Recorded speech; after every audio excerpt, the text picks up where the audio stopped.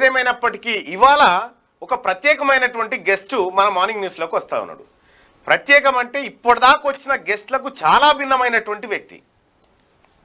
ఆయనే ఇంకా చెప్పాలంటే ఆయన గురించి కేసీఆర్తో కేసీఆర్ కనుక ఒక పద్దెనిమిది గంటల పాటు ఎక్కడన్నా మెలకువ రూపంలో ఉంటే పదిహేడున్నర గంటలు ఆయనతో పాటు ఉండేటువంటి వ్యక్తి కపిలవాయి దిలీప్ కుమార్ గారు. అలాగే కోదండరామ్ సార్ క్లాస్మేటు. కేసీఆర్ గురించి ఇక బహుశా అంత అంతరంగిక వ్యవహారాలు కేసీఆర్ కథ కార్ఖానా భాగోతం లెక్క మొత్తం. మనకు గాథ ఎన్ననేమో లచ్చావ పుస్తెళ్తాడు కాడికి అని చెప్పుకొచ్చాడు. కానీ కపిలవాయి దిలీప్ కుమార్ రాసినటువంటి ఇగో అపరిచితుడు అనేటువంటి పుస్తకం ఏదైతే ఉందో ఒకసారి క్లోజ్ పెట్టు.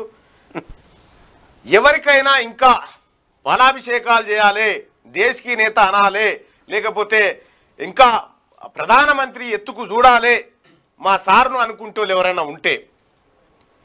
ఇగో అపరిచితుడు అనేటువంటి ఒక పుస్తకం ఉంటుంది.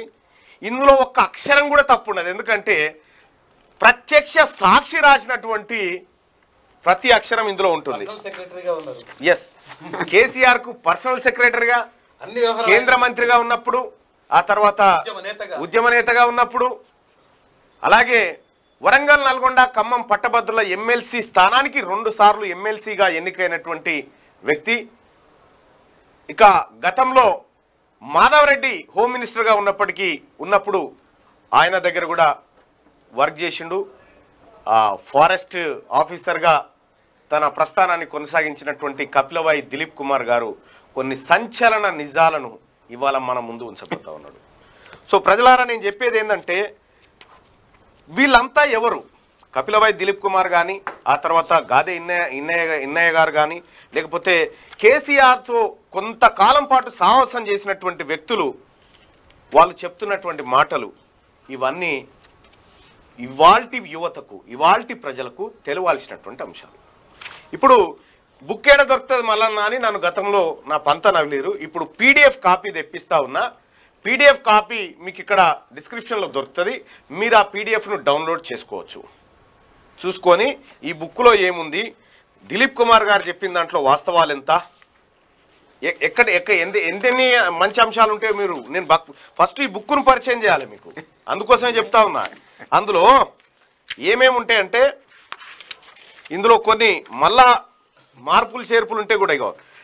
ఢిల్లీలో కేసీఆర్ అపాయింట్మెంట్లు మరికొన్ని సంఘటనలు. సుబ్బారెడ్డి గారి అపాయింట్మెంట్. పార్టీకి విరాళం పనులు కాన్ మార్కెట్ షాపింగ్ జారిపడ్డ కేసీఆర్. కేసీఆర్ వాస్తు నమ్మకాలు మాయావతి సహకారం శరద్ పవార్ అపాయింట్మెంట్. పార్లమెంట్లో ప్రశ్నోత్తరాలు కేసీఆర్ రోస్టర్ డ్యూటీ. యూపీఏ వన్లో ప్రెషర్ గ్రూపు లాలూ ప్రసాద్తో కరుణానిధి గారితో. కేసీఆర్ సోనియాజీ అపాయింట్మెంట్స్. కేసీఆర్ నరేంద్ర పాస్పోర్ట్ల పాస్పోర్ట్ల గందరగోళం. కేసీఆర్ కార్మిక పథకాలు కేసీఆర్ దిగ్విజయ్ సింగ్ భేటీ క్యాబినెట్లో తెలంగాణ అంశం. అనేటువంటి దాదాపు నలభై రెండు అంశాలను ఇక్కడ చాలా కులంకషంగా కేసీఆర్ నోటి నుంచి జాలువారిన ప్రతి అక్షరాన్ని ఇక్కడ అక్షరీకరించిండు కపిలవాయి దిలీప్ కుమార్ గారు. సో మీరు చూడొచ్చు కపిలవాయి దిలీప్ కుమార్ గారు. కేసీఆర్ రఘునందన్లతో సిద్దిపేటలో ర్యాలీ నిర్వహించిండు. అప్పటికి రఘునందన్ రావు గారు టిఆర్ఎస్ పార్టీలో ఉన్నాడు. ఇక్కడ ఈ షేక్ టోప్ పెట్టుకున్నాడు కదా. మెదక్ జిల్లా అధ్యక్షుడు. మెదక్ జిల్లా అధ్యక్షుడిగా ఉండే ఆయన కపిలవాయి దిలీప్ కుమార్ గారు వీళ్ళంతా కలిసి ఉంది. ఇగో ఢిల్లీలో నరేంద్ర కేసీఆర్లు కేంద్ర మంత్రి పదవులకు రాజీనామా ప్రకటించిన సందర్భంగా ఆయన అంతరంగిక కార్యదర్శిగా పర్సనల్ సెక్రటరీగా ఇగో దిలీప్ కుమార్ గారు. ఇక తర్వాత కేసీఆర్ శ్రీ నారా చంద్రబాబు నాయుడు గారితో మహాకూటమి ఏర్పాటు సందర్భంగా దిలీప్ కుమార్ నేను కేసీఆర్ను కీర్తిశేషులు కరుణానిధితో కలిసినప్పుడు అంటూ ఇక్కడ దిలీప్ కుమార్ గారు. ఇక్కడ నేను కేసీఆర్ను శ్రీ వైగో ఎంపీతో కలిసినప్పుడు ఈయన కేరళ ఎంపీ అన్న? అక్కడే తమిళనాడు. తమిళనాడు.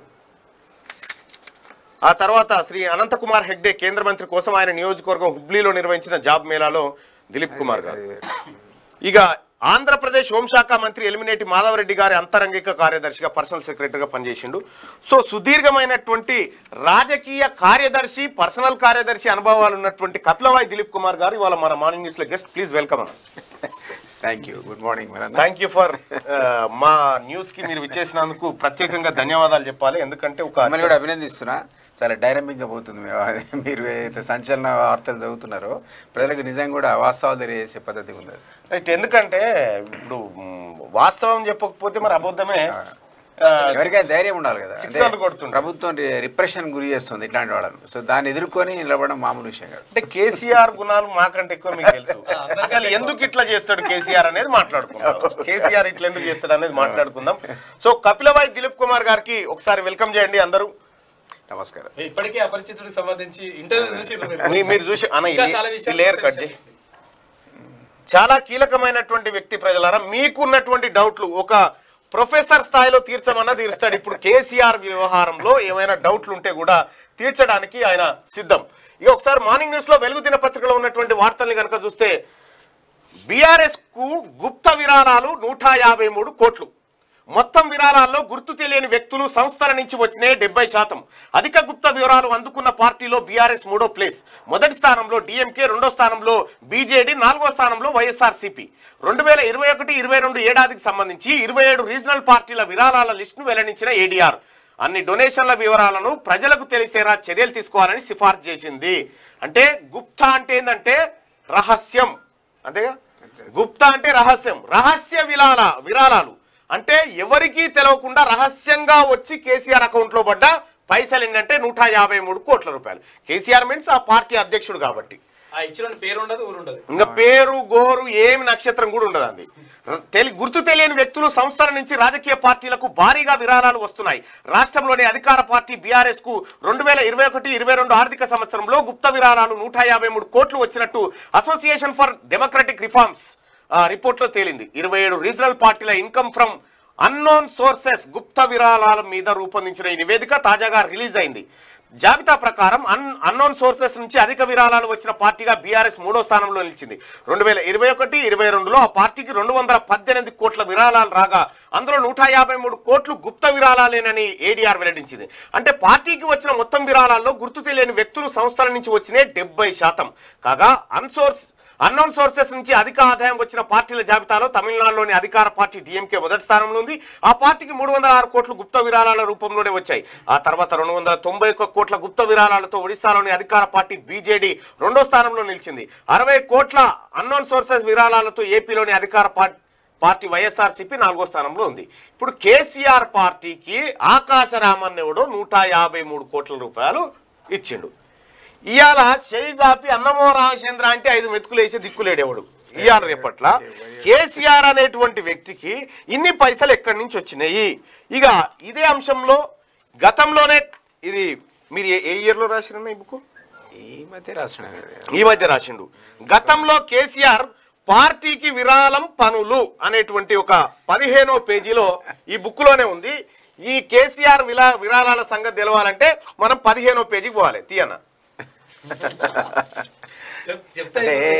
అదేంటంటే విరాళాలు అధికారం ఉన్నవాడికి ఎందుకు వస్తాయి ఎక్కువ వస్తాయి ఎక్కువ వస్తే ఆయనకే వస్తాయి. అధికారం లేనివాడికి రావు. ఏదో కారణం ఉండాలి విరాళం ఇవ్వాలంటే ఎవడిస్తాడు మన గుత్తయ్యడు మీకే నాయకుడు ఉం. ఎందుకు ఇస్తాడు కేసీఆర్ కంటే? కేసీఆర్ ఆ రోజుల్లో టికెట్లు అమ్ముకునే కార్యక్రమాలు ఉండే. టికెట్లు అమ్ముకునేటి. ఆ, నీకు బీఫామ్ ఇస్తా నీకు బీఫామ్ ఇస్తా అని చాలా మందిని ఆయన మోసం చేసిండు. అందులో ఒక వ్యక్తి నాకు వచ్చి చెప్పింది ఏంటంటే ఆ. "సా- సార్ పాప నన్ను పిలిచిండు లోపలికి. పిలిచి నాకు చాలా ఆప్తుడు పిల్లాడు. నువ్వే పోయి తీసుకుపోయి అగ్రికల్చర్ డిపార్ట్మెంట్లో పని ఉంది ఈ పని నువ్వు చేయించాలన్నాడు.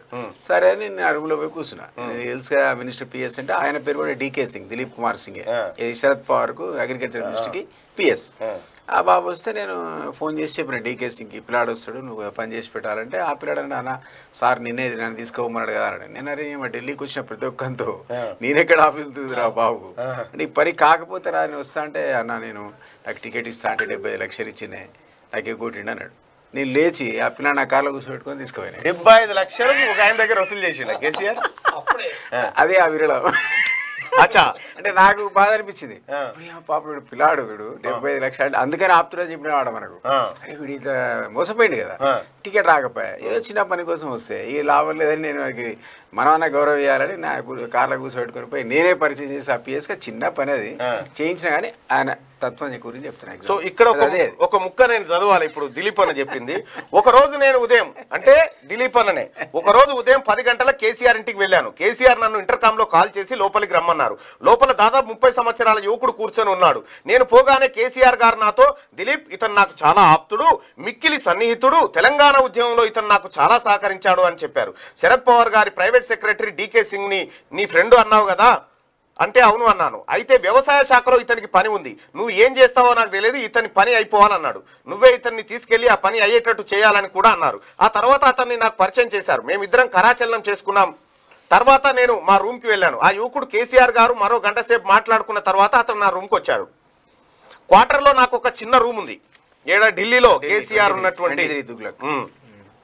ఆ రూమ్లో ఫైళ్ళు చూస్తుండగా అతను వచ్చాడు. నేను అతన్ని కూర్చోమన్నాను. తర్వాత నేను డీకే సింగ్కి కాల్ చేశాను. D K Singh forest services నుంచి వచ్చిన వ్యక్తి శరద్ పవార్కి ప్రైవేట్ సెక్రటరీ గా ఉన్నాడు. నాకు మంచి మిత్రుడు కూడా. నేను అతనికి ఫోన్ చేయగానే ఆయన లైన్లోకి వచ్చాడు. నేను యువకుడికి యువకుడి గురించి వివరాలు చెప్పి ఇతన్ని మీ దగ్గరికి పంపిస్తున్నాను. మా లేబర్ మంత్రి గారికి చాలా సన్నిహితుడు ఆప్తుడు అని చెప్పి ఇతని పని చేసి పెట్టాను అన్నాను. ఢిల్లీలో కోఆర్డినేషన్ కొరకు ప్రైవేట్ సెక్రటరీలందరికీ ఒక లైక్ మైండెడ్ గ్రూప్ ఉండేది. ఆ గ్రూప్లో పన్నెండు నుంచి పదిహేను మంది ఐపీఏ పిఎస్లో ఉండేవాళ్ళం. గ్రూప్లో ఒకరి పనులు ఒకరు చెప్పుకుంటూ పనులు చేయిస్తుండే వాళ్ళం. ఆ ఇంటరాక్షన్ అన్నది కేసీఆర్ గారి సమయంలో నాకు బాగా ఉపయోగపడింది. డీకే సింగ్కు ఆ గ్రూప్లో ఉన్నవారే కాబట్టి వెంటనే స్పందించి సరే అతన్ని పంపించు అని అన్నారు. ఆ యువకుడు నా కారు ఇచ్చి ఆ యువకుడికి నా కారు ఇచ్చి పంపించాను నువ్వు డీకే సింగ్ గారిని కలు నీ పేపర్స్ ఇవ్వు నీకు పని అవుతుంది అని అన్నాను. అతను లేదు సార్ కేసీఆర్ మీకు చెప్పారు కదా మీరు కూడా రావాలన్నాడు. మీరు నాతో పర్సనల్గా వస్తే కానీ ఈ పని అవ్వదన్నాడు. అప్పుడు నేను ఢిల్లీకి వచ్చిన ప్రతి వారితో కలిసి ఆఫీసులన్నీ తిరగాలంటే నాకు సాధ్యపడే విషయం కాదు. నేను ఆఫీసు పనులు కూడా చూసుకోవాలి కదా నీకు పని అవ్వడం ముఖ్యం నువ్వు వెళ్ళి డీకే సింగ్ని కలువు నీ పని అవుతుంది నువ్వు వర్రీ అవ్వాల్సిన అవసరం లేదు నీ పని కాకపోతే నేను వస్తాను. ముందు నువ్వు వెళ్ళి కలువు అని కొంచెం కటువుగానే చెప్పాను. అప్పుడు అతను అన్నాడు సార్ కేసీఆర్ నాకు ఎమ్మెల్యే సీట్ ఇస్తాను అంటే పార్టీకి విరాళం ఇచ్చాను నాకు సీట్ రాలేదు అనేసరికి నేను ఆశ్చర్యపోయి వెంటనే అతన్ని తీసుకొని నా కారులో డీకే సింగ్ దగ్గరికి వెళ్ళాను. అప్పుడు డీకే సింగ్ నువ్వు ఫోన్లో చెప్పావు కదా నువ్వే రావడం ఏంటి? ఈ చిన్న విషయానికి అంటే నేను ఈ వ్యక్తి మా బాస్కి చాలా ఇంపార్టెంట్ నువ్వు ఈ పని తప్పకుండా చేయాలని అన్నారంటే ఇగో కేసీఆర్ కథ గిది. కేసీఆర్ భాగవతం ఇగో గిది. ఢిల్లీలో ఇంక ఇంకెవ్వరద్దు కేసీఆర్ టేబుల్ మీద గిలాస్ ఇటు జరపాలన్నా ప్రత్యక్షంగా చూసినటువంటి మనిషి. Three and half years three and half years పనిచేసిండు అంటే యువకులను జనాన్ని ఎట్లా మోసం చేస్తాడో మీరు చూడండి. డెబ్బై ఐదు లక్షలు తీసుకొని టికెట్ ఇస్తాను మోసం చేసి తిరిగి తిరిగి తిరిగి. ఇంకా చాలా ఉంది కేసీఆర్ కథ. చాలా మంది ఉంటారు అట్లా. ఈ? చాలా మంది ఉంటారు కానీ ఒకడు మనకు అట్లా తగిలిండాడ. మీకు తెలిసిన కేసీఆర్ బాధితులు ఎంతమంది ఉంటారు ఇట్లా? చాలా మంది ఉన్నారు చాలా మంది ఉంటారు. అంతేనా? ఒక్క వరంగల్ నేను కాన్స్టిట్యున్సీలో నేను నాకే సీట్ ఇస్తాను అవును. అంటే నేను రాజీనామా చేసిన. ఏది హనంకొండ సీట్ ఇస్తాను. అప్పుడు డిఎఫ్ఓ స్థాయి ఉద్యోగాలు ఉంటాయి అవును. హరీష్ తీసుకుపోయి మాట్లాడించి ఆయనతో అనిపించాడు నీకు సీట్ ఇస్తా నువ్వు రాజీనామా చేయమంటే చేసిన. తర్వాత వరంగల్ పోతే. ఇరవై ఐదు మంది తిరుగుతున్నారు నా లెక్క. నీ లెక్కనే ఒక్క వరంగల్ ఆ. ఇరవై ఐదు మంది. మొత్తం తెలంగాణ ఎంత మందిని తిప్పిండు అది సార్ కథ. మాట్లాడదాం ఇంకా చాలా ఉంది. ఇక నిర్లక్ష్యంగా ఉంటే మునుగుతాం. ప్రజల్లో మనకే బలం ఉంది. అయినా అన్న కొంచెం బ్యాక్ జరగండి కొంచెం. అన్న. దర్శన నువ్వు ఇటు సైడ్. ఓకే. రైట్ నిర్లక్ష్యంగా ఉంటే మునుగుతాం. ప్రజల్లో మనకే బలం ఉంది అయినా మీ తీరుతోనే నష్టం. మూడు నెలల్లో తీరు మార్చుకోకుంటే టికెట్ కట్ చేస్తాం. బీఆర్ఎస్ ఎమ్మెల్యేలకు కేసీఆర్ హెచ్చరిక. సిట్టింగ్స్కే టికెట్లు కానీ కండిషన్ సప్లై. ఎమ్మెల్యేలు ఏం చేస్తున్నారో ఎప్పటికప్పుడు చూస్తున్నాం. ఏ దిక్కు లేకనే కర్ణాటక ప్రజలు కాంగ్రెస్ ఎంచుకున్నారు. ఇప్పటికిప్పుడు ఎన్నికలు జరిగితే బీఆర్ఎస్కు తొంభై ఐదు నుంచి నూట ఐదు సీట్లు వస్తాయి. మహారాష్ట్రలో బ్రహ్మాండంగా ఆదరణ వస్తున్నది అక్కడ సత్తా చాటుతాం. చెరువు కట్టలపై తెలంగాణ దశాబ్ది ఉత్సవాలు నిర్వహించాలని చెప్పి ఆదేశాలు చేసిండు కేసీఆర్. నిన్న ఒక తెలంగాణ బుధవారం తెలంగాణ భవన్లో నిర్వహించిన మీటింగ్కు హాజరైన మంత్రులు ఎమ్మెల్యేలు మాట్లాడుతున్న సీఎం కేసీఆర్. మీరు ఆయన పర్సనల్ సెక్రటరీగా పనిచేశారు కదా కేసీఆర్ మీటింగ్ పెడితే వాళ్ళతో ఏం మాట్లాడతాడు? బయట మీడియాలో వస్తున్న చర్చ అంతా అందులో ఉంటుందా? లేకపోతే వేరే వ్యవహారం ఉంటుంది మాట్లాడుంటాడు ఇది ఆ. కానీ వేరే వాళ్ళకి మాట్లాడే అవకాశం ఉండదు అంతేలే. ధైర్యం చేసి వాళ్ళు ఏది చెప్పలేరు. అది ముందే ఆయన ఏది మనసులో అనుకుంటాడో అది మీకు చిన్న ఎగ్జాంపుల్ చెప్తాను. అది కూడా క్లాసిక్ ఎగ్జాంపుల్ ఎక్కడ ఉండి ఉంటుంది బుక్లో. ఏ చాప్టర్లో ఉందో జ్ఞాపకం లేదు కానీ నేను ఎమ్మెల్సీ ఎలక్షన్లో బిజీ ఉంటి. ఉమ్. ఇంతకుముందు మీకు తెలుసుగా టూ అవును. మొదటిసారి రాజీనామా చేసిన నా ఎలక్షన్ కాలే. టూ ఇయర్స్లో వన్ ఇయర్ అయిపోయింది ఇక వన్ ఇయర్ మిగిలిందని ఎలక్షన్ కమిషన్ పెట్టాలి. పెట్టకుండా వన్ ఇయర్ డిలే చేసి టూ థౌసండ్ నైన్లో సెకండ్ నా ఎలక్షన్ పెట్టింది. పెట్టినప్పుడు ఈయన నాకే సీట్ అనౌన్స్ చేసిండు అదొక కథ కానీ. అనౌన్స్ చేసిన సందర్భంలో బిజీ ఉంటుంది ఇది ఈ లోపల కేటీఆర్ అప్పుడు యాక్టివ్ అయ్యింది వచ్చి ఇక్కడ. ఆయన ఆయనను హరీష్ కలిసి చిరంజీవితో అలయన్స్ పెట్టించుకుందామని బాగా తిరిగి పాపం డెబ్బై ఐదు ఎమ్మెల్యే సీట్లు తొమ్మిది ఎంపీ సీట్లు ఫైనల్ చేసుకుని ఫైనల్ అయిపోయింది నాకు తెలియదు. నేను ఖమ్మం నల్గొండ వరంగల్ పిఆర్పితో పొత్తుకు పోయారు. పూర్తి అయిపోయి ఆల్మోస్ట్ అయిపోయింది. నెక్స్ట్ డే నాడు మీడియాలో వచ్చింది. కేసీఆర్ అనౌన్స్ చేసిండు. రేపు మార్నింగ్ కేసీఆర్ మన ఎవరు చిరంజీవి ఇంట్లో మాకు బ్రేక్ఫాస్ట్ మీడియా కూడా చెప్పారు పొద్దుగా రండి అక్కడ అనౌన్స్ చేస్తాం అలయన్స్ అని. నేను ఎందుకు ఆ రోజు సాయంత్రం ఖమ్మం నుంచి వచ్చిన. చాలా కేసీఆర్ నా ప్రచారం ఉంటే అంటే ఈ జనరల్ ఎలక్షన్ కంటే రెండు మూడు నెలల ముందు అయింది నాకు. ఈ లోపల ఈ ప్రాసెస్ నడుస్తుంది అలయన్స్ లేదు. అయితే నేను పోయే వరకు చెక్ చేశారు ఇప్పుడు అరే దిలీప్ భలే టైంకి వచ్చినావు. రేపే మనం పోతున్నాం వీడికి. చిరంజీవి దగ్గరికి పోతున్నాం. నువ్వు కూడా రా బ్రేక్ఫాస్ట్ అన్నాడు. దీనికి సార్ బ్రేక్ఫాస్ట్ అంటే అలయన్స్ అయిపోయినాడు. ఏం అలయన్స్ అంటే డెబ్బై ఐదు ఎమ్మెల్యే సీట్లు తొమ్మిది అంటే నేననే ఎవడు చెప్పాడు సార్ మీకు చిరంజీవి అనేటోడు ముఖ్యమంత్రి అవుతాడని. ఇది రాంగ్ క్యాలిక్యులేషన్ ఇదేనా? అరే అదేంది ఇట్లా అంటాం అంతా మేము సెట్ అయిపోయింది అన్నాడు. అది తప్పదు మీరు అట్లా పెట్టుకోకండి. టీడీపీతో పెట్టుకోండి అన్న టీడీపీ ఎట్లా అది సమైక్యవాద పార్టీ. నేను సమైక్యవాద పార్టీతో తెలంగాణకు మేము అనుకూలమని లెటర్ ఇస్తే మీరు పెట్టుకుంటారా అంటే పెట్టుకుంటారు. సరే అని మన టైం ఏంటి పది రోజులు అన్న అంటే నాకు అంత ఇన్ఫ్లుయెన్స్ అందరు ఉండే. ఎందుకంటే three and half years PS చేసిన కదా. అంత అంత సెట్ అయినాక అది అందుకే కేటీఆర్కు హరీష్కి నా మీద కోపం. ఫోన్ ఎత్తి రేపు బ్రేక్ఫాస్ట్ క్యాన్సిల్ అన్నాడు. దాని యాక్టివిటీ చూడు. అయిపోయింది చర్చలు బ్రేక్ఫాస్ట్ తెల్లారి పోవాలి అనౌన్స్మెంట్ అలయన్స్ ఉండేది. క్యాన్సిల్ అన్నాడు. నాకు టెన్ డేస్ టైం ఇచ్చాడు. టెన్ డేస్లో చంద్రబాబు గారు మేము తెలంగాణకు అనుకూలమే అని సందేహం పెట్టాడు. అయితే ఈ పిఆర్పి కట నేను ఎందుకు చెప్తున్నాను అంటే పిఆర్పికి మీ అలయన్స్ పెట్టుకోవాలనే మాట ఎట్లుంటుంది పార్టీ మీట్ అనేది చెప్తా. అంటే అంతకు ముందట వారం రోజుల నుంచి ప్రతి జిల్లా మీటింగ్లు అవుతున్నాయట. ప్రతి జిల్లాలో ఒక పది మంది మాట్లాడుతున్నాడు అద్భుతం చే- చిరంజీవిని మించిన లేడు అయిపోయినట్టే మన అధికారులు వస్తాం దించేస్తాం రాజశేఖర్ అని స్పీచ్లు ఇప్పించాడు అందరితో. అదే మొత్తం అంటే ముందే అన్నాడు ప్రీ మెడిటేటెడ్ స్పీచెస్ అంటారు అవును. ఆ ఇప్పించేసి అందరితో బ్రహ్మాండ అందరు డిమాండ్ ఉంది పబ్లిక్ కాబట్టి పిఆర్పి అనిపించినట్టు ఎంత అయిపోయాక. మరి దీన్ని తారుమారు కాదు. కదా నాది ఇప్పుడు మరి నువ్వు మార్చేసి దీన్ని అంతా ఇప్పుడు ఎట్లా? మళ్ళా పెట్టాడు జిల్లా వారి మీటింగ్ అన్నాడు. ఇప్పుడు ఆ స్పీకర్లు కాదు. వేరే స్పీకర్లు మాట్లాడారు. ఏ చంద్రబాబు అద్భుతం? ఈ అనవసరం ఇదంతా అంటే మళ్ళా అన్ని జిల్లాల్లో ఇంకో వేరే కొత్త స్పీకర్లు అంతా అద్భుతం అద్భుతం అంటే అది పోయి ఎగిరిపోయి చంద్రబాబు తలయన్స్ ఫిక్స్ అయింది అన్నట్టు నేను సెట్ చేశాక అంటే నేనేదంటే తను ఏది తెలుసుకుంటే అదే స్పీచ్లు ఇస్తారు వాళ్ళు. అదే ఆమోదం అయితే మీరు డిమాండ్ చేస్తున్నారు కాబట్టి నేను చర్య యాక్షన్ తీసుకున్నా అంటే మాసాడు రైట్ ఇక ఇక్కడ మనం మనం పసిగట్టాల్సింది ఏంటంటే ఇక్కడ ఇప్పటికిప్పుడు ఎన్నికలు జరిగితే బీఆర్ఎస్కు తొంభై ఐదు నుంచి నూట ఐదు సీట్లు వస్తాయండి నిజంగా తొంభై ఐదు నుంచి తొంభై ఐదు కాదు కదా నీకు అరవై మూడు వచ్చినా కూడా నువ్వు ఐదు ఇంట్లో పండేటోనివే. నీకు తొంభై ఐదు నుంచి నూట ఐదు వస్తున్నాయా లేకపోతే ఇంకేదైనా బుగులు పట్టుకొని మీటింగ్ పెట్టినవా? ఇవాళ కర్ణాటక ఎన్నికల ఎఫెక్ట్ కాంగ్రెస్ పార్టీ రూపంలో తెలంగాణలో ఉంటే ఇళ్ళకైనా ఎవడన్నా దుంకి అవతల కురకగాలన్న ఉద్దేశంతో పగ్గాలేసే కార్యక్రమం పెట్టాడు. అంతకు మిక్కిరేం లేదు. ఇక్కడ ఏం చెప్తా ఉన్నాడు? ఒక మాట మనం క్లియర్గా అర్థం చేసుకోవాలి. బీఆర్ఎస్ ఎమ్మెల్యేనే కేసీఆర్ హెచ్చరిక అని చెప్తా ఉన్నాడు. ఎందుకు హెచ్చరిస్తా ఉన్నాడు అని అంటే మీరు తీరు మార్చుకోవాలని చెప్తా ఉన్నాడు. అయితే ఒక్క నియోజకవర్గంలో ముగ్గురు అభ్యర్థులు ఉన్నారు టీఆర్ఎస్ పార్టీ ఎమ్మెల్యేలు. ఆ మావని పని అవుతుంది ఇక నాకే వస్తుంది అనేటువంటి ఆశ వాళ్ళకి కల్పించడము. రెండోది నేను పని బాగా చేసుకుంటే మళ్ళీ నాకే ఉంటుందని ఈయన కల్పించడం. ఒకటే దెబ్బకు రెండు పీటలు అన్నట్టు కేసీఆర్. ఇప్పుడు ఎన్నికల వరకు వీళ్ళని కాపాడుకోవడానికి కేసీఆర్ ఆడుతున్నటువంటి ఒక డ్రామా ఇదంతా. ఇక రెండో విషయం ఏంటంటే ఏ దిక్కు లేకనే కర్ణాటక ప్రజలు కాంగ్రెస్ గెలిపించుకున్నారు. లేకపోతే టీఆర్ఎస్ను గెలిపించేది ఉండేనా? మరి ఈ దిక్కు ఈ దిక్కు కథ అటు పెడితే ఇక్కడ మహారాష్ట్రలో మొన్న మొన్న ఎన్నికల్లో పోటీ చేసినావు కదా మార్కెట్ కమిటీ ఎన్నికల్లో పోటీ చేసి ఓటుకు పదివేలు. ఓటుకు ఇచ్చిండు. ఆ మహారాష్ట్ర చరిత్రలో లేదు ఓటుకు పదివేల చరిత్ర. మీకు కర్ణాటక అన్నారు కాబట్టి ఒక విషయం చెప్తా. అది కూడా ఇక్కడ ఉంటుంది. నేను సీటు కోసం రాజీనామా చేసిపోయాక ఈయన నాకు ఫోన్ కూడా ఎత్తలేడు. నేను తిరిగే తిరుగుతున్నా ఈ లోపల పాతిక మంది తిరుగుతున్నానని తెలిసిపోయింది. ఊరి ఈ పాతిక మంది ఎవరికి వారికి అడిగితే నాకు చెప్పిండు నాకు చెప్పిండు అంటాడు. తలుపెట్టి అందరూ చెప్పిండట. నీకే సీటు పోని. ఇరవై ఐదు మందికి ఇరవై ఐదు మంది నాతో పాటు నేను అన్న ఇది నాకు రాదు ఏదో కథ ఎట్లా ఉందని నేను కర్ణాటక పోయినా వీళ్ళ నాయన దగ్గరికి. కుమారస్వామి నాయన దగ్గరికి. పోయి సార్ ఒక మాట ఎందుకంటే అంతకుముందు భారీ బహిరంగ సభ వరంగల్లో పెట్టింది టీఆర్ఎస్. దానికి ముఖ్య అతిథిగా మన దేవగౌడ గారు వచ్చారు.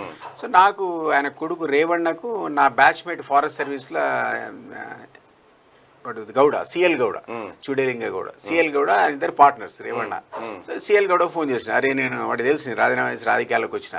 నీ కోఆపరేషన్ కావాలరా బాబు నువ్వు రేవಣ್ణ చెప్పిన దేవుడు తీసుకపోతే ఫోన్ కాల్ చేస్తే మా బాస్కి నాది కన్ఫర్మ్ అయిందని రిక్వెస్ట్ చేస్తే రా అన్నాడు. తీసుకుపోయాడు దేవుడు దేవుడు యాంటీ రూమ్లో ఉన్నాడు అప్పుడే బయట తిరిగి వచ్చిండు పాపం కూర్చుంటే ఇది ఆయనకి ఎంట్రీ ఉంటుంది కదా పార్ట్నర్ కదా డైరెక్ట్గా తీసుకుపోండి యాంటీ రూమ్ తీసుకుపోతే నేను పరిచయం చేసాడు దిలీప్ ఇట్లా అప్లై చేసిండు. ఒక మాట మీరు ఫోన్ చేస్తే అంటే ఆయన అన్నాడు అరే పరిశాన్ అండి. కొడుకు పార్ట్నర్ వచ్చి అడిగినా కూడా ఎందుకు సార్? అని అడిగిన. అంటే మీ వాళ్ళు లంగాడు. అన్నాను. ఆడ పిలిచిండు ముఖ్య అతిథిగా ఏమని చెప్పాడు కాంగ్రెస్ నాకు అలయన్స్ ఉండదని చెప్పాడు సరే అని నేను పోయినా. సరే పోతే పోని పొలిటికల్ అవసరానికి నువ్వు అలయన్స్ పెట్టుకున్నావు. కానీ నీ కట్టసి ఏంది? నాకు ఫోన్ చేస్తారు అప్పుడు మీతో అన్నా కానీ నాకు వీలైతే లేదు కాంగ్రెస్ పెట్టుకోవాల్సి ఉంది నాకు చెప్పాలి కదా.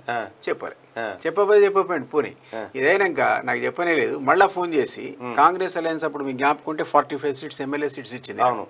ఇచ్చి ఎంపీ సీట్స్ సిక్స్ ఇచ్చింది. ఒకటి ఓడిపోయి ఐదు గెలిచినావు ఇస్తే ఆ సీట్లో నేను మీకు ఒక ఐదు ఎమ్మెల్యే సీట్లు ఒక ఎంపీ సీట్లు ఇస్తా. నాకు పది కోట్లు ఇవ్వని అడిగినట్టు దేవగౌడ? దేవగౌడ్. ఆయన అన్నట్టు నేను వచ్చి తెలంగాణలో అమ్ముకోవాలా కర్ణాటకలో అమ్ముకోవాలా నాకెందుకు అన్ని సీట్లు? పది సీట్లు? ఐదు ఎమ్మెల్యే ఐదు ఎమ్మెల్యే రెండు ఎంపీ సీట్లు అమ్మకానికి కర్ణాటకలో. ఏది? పాతిక కోట్లకు. నాకు పాతి కోట్లు ఏంటంట. అంటే ఉద్యమ టైంలో డబ్బులు ఉండకపోవచ్చు కానీ. ఈ సీట్ తీసుకెళ్ళి కర్ణాటకలో ఎట్లా అమ్ముతావు? ఇట్లుంటది మనంతోటి అందుకే నేను ఫోన్ చేయనని చెప్పిండట. ఆయన అన్నాడు అట్లాంటి. నీకు ఫోన్ చేస్తే నీకు సీట్ వస్తుంది అది లేపన్నాడు నేను పరిశాన నాకు న్యూస్ అది. తెలియదు కదా. ఉద్యమకారుడు ఉన్నా కానీ నాకు ఈ కథ అంతా తెలియదు కదా. ఈ అలయన్స్లు ఆడ సేలు ఈడ సేలు ఈయన అస్సాంలో అమ్మినట్టు యూపీలో అమ్ముతున్నట్టు కర్ణాటకలో మన సీట్లు అమ్ముతున్నట్టు మనకి అమెరికా. అంటే నేనన్నా ఎట్లా సార్ అంటే మరి అంటే ఉపాయం చెప్పండి అంటే నీకు సూట్ కేసు అంటే తెలుసా అన్నాడు. అంటే తెలుసు సార్ అన్న అది పట్టుకొని ఇచ్చే నీకు సీట్ వస్తుంది అన్నాడు. ఎవరు? Deve Gowda. Former prime minister of India. ఆ. ఆ మాట అంటున్నాడు కేసీఆర్ గురించి. సో ఇప్పుడు కర్ణాటక నుంచి కుమారస్వామి వచ్చి ఈయన కలిసిపోయింది ఈయన పోయి ఆయన కలిసిపోయింది అంటే ఇప్పుడు ఏంటంటే రివర్స్ అన్నట్టు.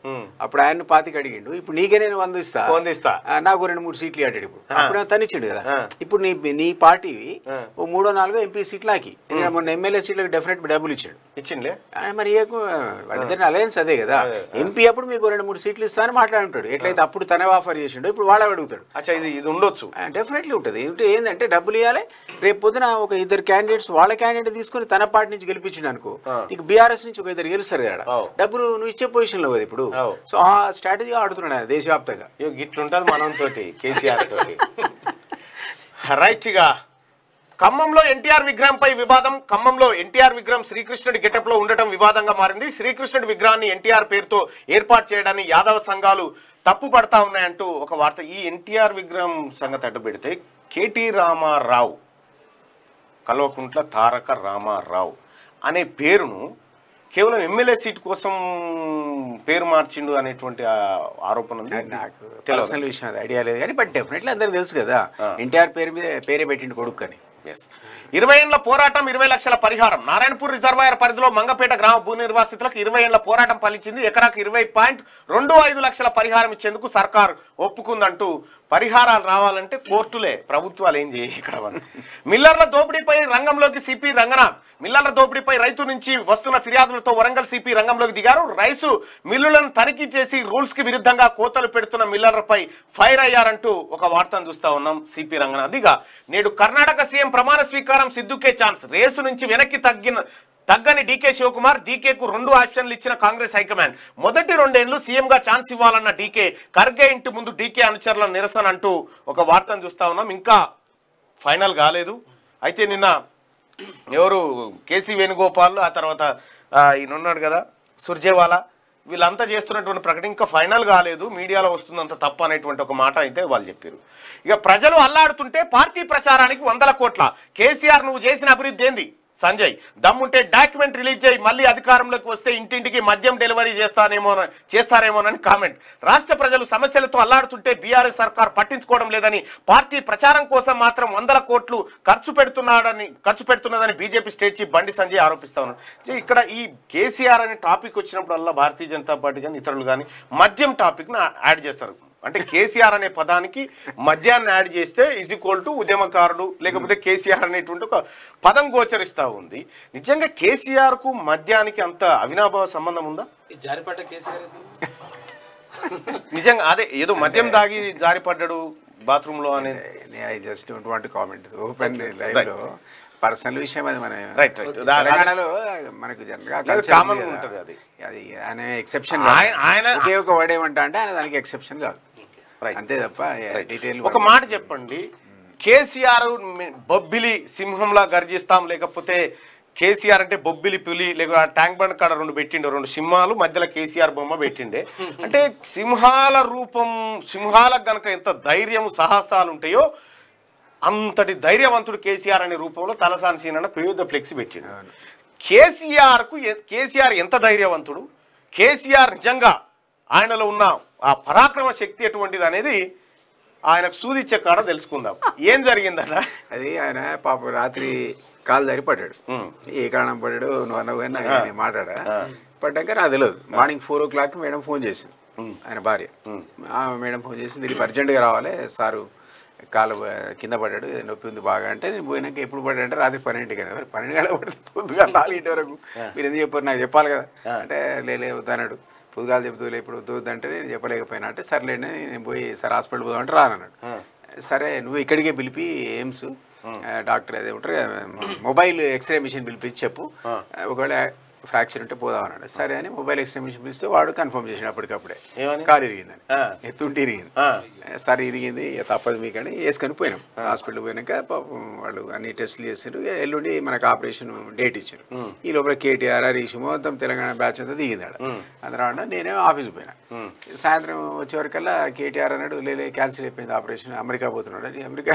ఎందుకు ఎల్లుండి ఆపరేషన్ పెట్టుకొని సడన్ ఎందుకు మారిందంటే డాక్టర్ని అడిగిన ఏం జరిగిందిరా బాబు నేను లేనప్పుడు? అంటే పేషెంట్ కాన్సెంట్ ఫామ్ మీద సంతకం పెట్టాలన్నట అది కాన్సెంట్ ఫామ్ కంపల్సరీ. ఆపరేషన్ కావాలంటే. ఆ ఫామ్ ఇటీ నేను కూడా ఇప్పుడు చదవలేదు. సీరియస్ చదివిన చదివితే అందులో నా ఆపరేషన్లో ఏం జరిగినా నేనే బాధుండి నా సాగు జరిగినా నేనే ఉంది. మా చదివి చచ్చిపోతా అనుకున్నాడు. చిన్న ఆపరేషన్ పరిచయం అయిపోయారు అందుకని సంతకం పెట్టారు నాకు అర్థమైంది. ఓహో అయితే చచ్చిపోతా కావచ్చు అనే భయానికి సంతకం పెడతాడు. చిన్న దీనికి ఎంత భయం ఆయనకు. నేను సరే ఆ కాగితం తీసుకొని పోతే కీడారు నీ తరం కాదు. మీ అందరం బతిలాడి పెట్టలేదు. నీకు కూడా పెట్టండి సర్లే చూద్దామని పిఎస్ కదా నేను. సంతకాలు పెట్టి చెప్పని నాదేనా? తీసుకొని పోయినాక కాసేపు మాట్లాడాక ఊరికి ఎగ్జాంపుల్ అది చెప్పిన. సరే ఇది నా ఇట్లా మోటార్ సైకిల్ పోతుంటే నా ఏలు ఇరిగింది. అర్ధరాత్రి వర్షంలో. ఉల్టా తిరిగితే నేను ఇట్లా వేసి ఇట్లా తిప్పుకున్నా. మళ్ళీ వెనక వారానికి ఇట్లా ఇక చూడు ఇది ఇది పట్టుకొని చూడంటే ఇది లాగుంది సన్నగా. ఏమన్నా ఇది లాగుంది అన్నాడు ఎందుకు ఉంది అన్నాడు అంటే వారం తర్వాత నొప్పి తగ్గకపోతే డాక్టర్ తిరిగిపోతే ఆయన ఏం చెప్పాడంటే ఇరిగిన తర్వాత కరెక్ట్ పొజిషన్లో కూర్చోబెడితే అది అట్లే సెట్ అవుతుంది నువ్వు డాక్టర్ దగ్గర రావాలి చూడే. నువ్వు దాన్ని ఉల్టా తిప్పేసుకున్నావు మళ్ళీ.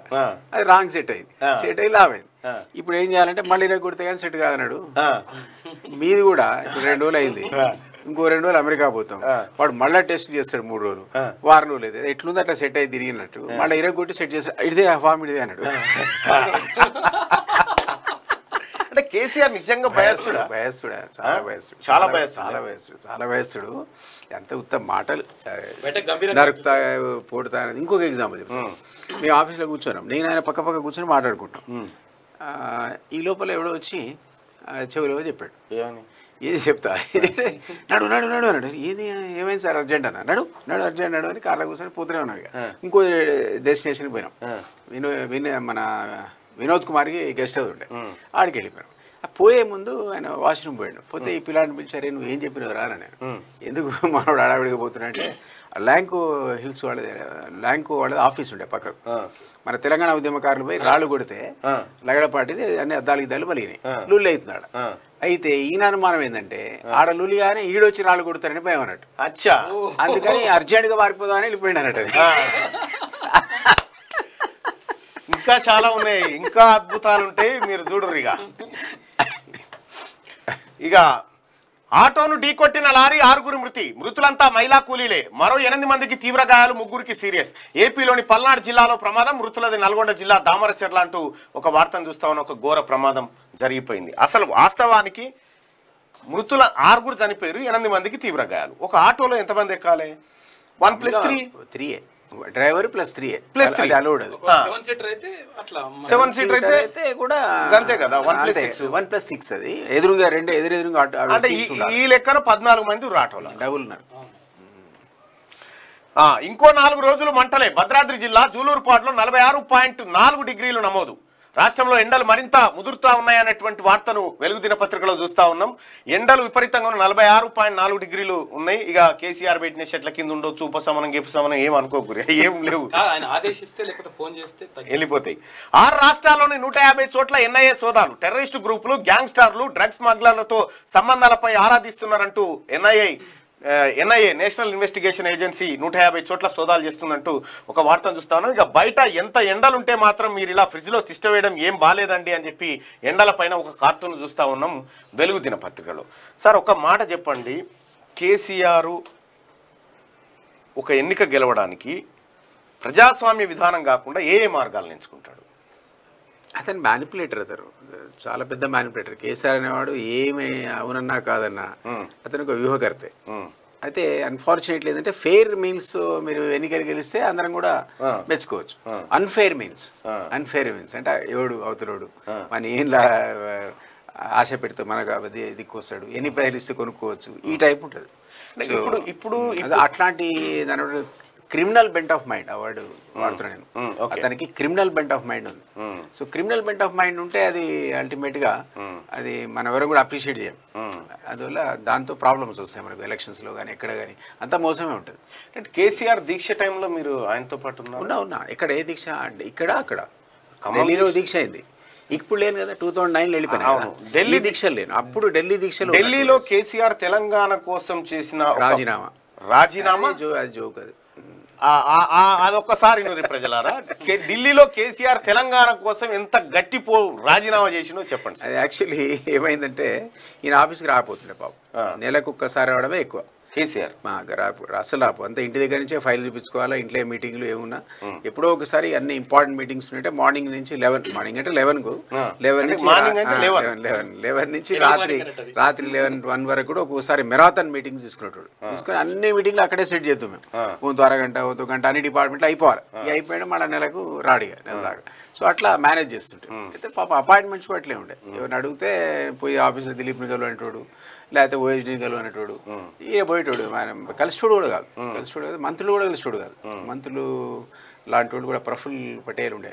ఆయన నాకు పదిసార్లు ఫోన్ చేసి ఆయన లైన్ రావద్దు నాకు ఫోన్ చేశాడు. ఎట్లా దిలీప్ మంత్రికి మంత్రి దొరకకపోతే ఎట్లా? అనే పరిస్థితి నా పరిస్థితి ఏమని చెప్పుకోవాలంటే అదేదో నాకే చెప్పుకోండి సార్. అదేదో నేనే సాల్వ్ చేస్తా అంటే పాప నాకే చెప్పండి. అంటే నా అంతటి నేను సాల్వ్ చేయడం కాదు. ఈ విషయం మళ్ళీ ఆయనకి ఎప్పుడో మార్నింగ్ మనకు టైం దొరికినప్పుడు ఇట్లా ఇట్లా ఫోన్లు వచ్చినాయి సార్ ఇది అడుగుతున్నాడు ఇది అడుగుతున్నాడు అంటే ఎస్ అనేది చేయాలి మనం. అది సిస్టమ్ అది. ఏ మంత్రి దగ్గరైనా అది మనం అతిక్రమించలేం. అది అతిక్రమిస్తే మన ఉద్యోగం పోతుంది. సో విషయాలని కనుక్కోవాలి వాళ్ళకి చెప్పాలి. అప్పుడు ఆయన మూడును బట్టి జే అంటాడు ఇది వద్దంటే ఆ సిస్టమ్ అటు నడుస్తుండే. చాలు నడిచింది. టూ అండ్ హాఫ్ ఇయర్స్ నడిచింది. ఒకసారి దాస్ గుప్తా గారు అపాయింట్మెంట్ అడిగింది పాపం. ఆయన ఫేమస్ సిపిఐ బెంగాల్ లీడర్ బ్రహ్మాండ speaker Das Das Gupta excellent speaker. అయితే ఆయన ఆయన కూడా నేను కూడా ఫోన్ చేసిన. మా పిఏ అయిపోయింది సార్ ఫార్టీ డేస్ అయింది సార్ అపాయింట్మెంట్ అడగబట్టి. నన్ను రోజు తిడుతున్నాడు. ఒకసారి నువ్వే మాట్లాడాడు అంటే నేను ఫోన్ చేసిన దాస్ గుప్తాకి ఏదో అపాయింట్మెంట్ ఏదో సార్ విషయం చెప్పండి సార్. నాకంటే ఆయన చాలా సీనియర్ కదా. కోప్పడ్డాడు నాకు నువ్వు కూడా ఆయన అన్నాడడానికి ఆయన మీ మంత్రి రాడా లైన్లకు ఆయన చేయలేడు ఆ ఫోన్ అని నే- మేము సంగతి చూసుకుంటా అన్నాడు. అని ఏం చేసాడు? పార్లమెంట్లో స్పీచ్ ఇచ్చాడు. ఎవరి లేబర్ మంత్రి? తెలంగాణకే మంత్రిరా? అసలు ఈ లేబర్ ఏం కావాలి దేశంలో? అసలు ఆఫీస్కి వస్తాడా? రాడా? వచ్చినా తెలంగాణ తప్ప ఇంకేమైనా సబ్జెక్ట్ గురించి ఆలోచిస్తాడా? అని ఆయన చాలా సీరియస్. చాలా ఇబ్బంది అవుతుందంటే ప్రైమ్ మినిస్టర్ అక్కడ ఉండే. మన్మోహన్ సింగ్ గారు ఉండే. ఆయన లేచి నేను లేబర్ మంత్రి తరఫున రికార్డు ఉంది పార్లమెంట్ నీకు క్షమాపణ చెప్తున్నా అన్నాడు. అనగానే పెద్ద ఇక అయిపోయింది సబ్సిడీ అయింది. అని మరి ప్రధానమంత్రి క్షమాపణ చెప్పినాక దాస్ గుప్తా శాంతించాడు. సబ్సిడీ అయినట్టు అనిపించింది. ఈ లోపల నాకు ప్రైమ్ మినిస్టర్ ఆఫీస్ నుంచి ఒక మిత్రుడు ఫోన్ చేశాడు. ఏమని? ఇక వన్ వీక్లో అన్న ఇది మీ వానికి ఉద్వాసన పలుకుతున్నారు. అంటే కేసీఆర్ మంత్రి పదవి పోతుందని పీకేస్తున్నాడు మేము డ్రాప్ చేస్తారు. లేదా మళ్ళీ వితౌట్ పోర్ట్ఫోలియో పెడతారు. అంటే ఏ శాఖ లేకుండా గతంలో ఎట్లయితే మీరు ఒక ఆరు నెలలు ఉన్నారో మళ్ళీ శాఖ లేకుండా పెట్టే ప్రమాదం ఉంది. ఊరికే నీకు అలర్ట్ చేస్తున్నా అన్నాడు. ఫ్రెండ్షిప్లో. నేను పోయి కేసీఆర్ చెప్పిన సార్ నీ ఉద్యోగం పోయేటట్టుంది. లేదు అరే కరెక్ట్ కనుక్కోనుకో జయశంకర్ నాడు ఆయనకు తెలుసు కదా అంటే జయశంకర్ సార్కు దాస్ ఇంకొక ఆయన. సేన్ గుప్తా అని ఒక చైర్మన్ ఆయన. సారు అనార్గనైజ్డ్ వర్క్ వర్కర్స్ కోసం ఒక మన్మోహన్ సింగ్ ఒక కమిటీ వేసాడు. కమిటీకి అధ్యక్షుడిగా సేన్ గుప్తా అనేసాడు చైర్మన్గా. అందులో మెంబర్ జయశంకర్ సార్ ఉండే. అయితే ఈయనకు సేన్ గుప్తా క్లోజ్. సేన్ గుప్తా మన్మోహన్ సింగ్ ఇద్దరు ప్లానింగ్ కమిషన్ మెంబర్స్ గతంలో. Okay friendship.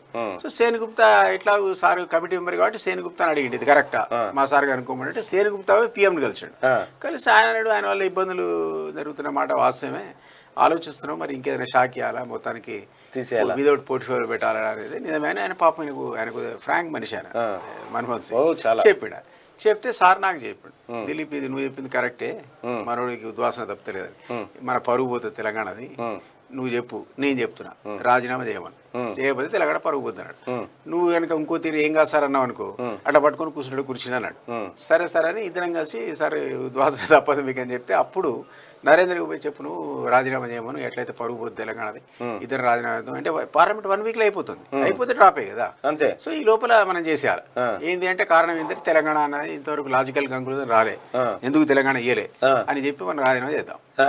అంటే సరే అని నరేంద్ర రెడ్డి చల్ ఆయనే చేసుకోమని నేను చేయాలన్నాడు. నరేంద్రడా చేయాలన్నాడు. చేసుకోమను?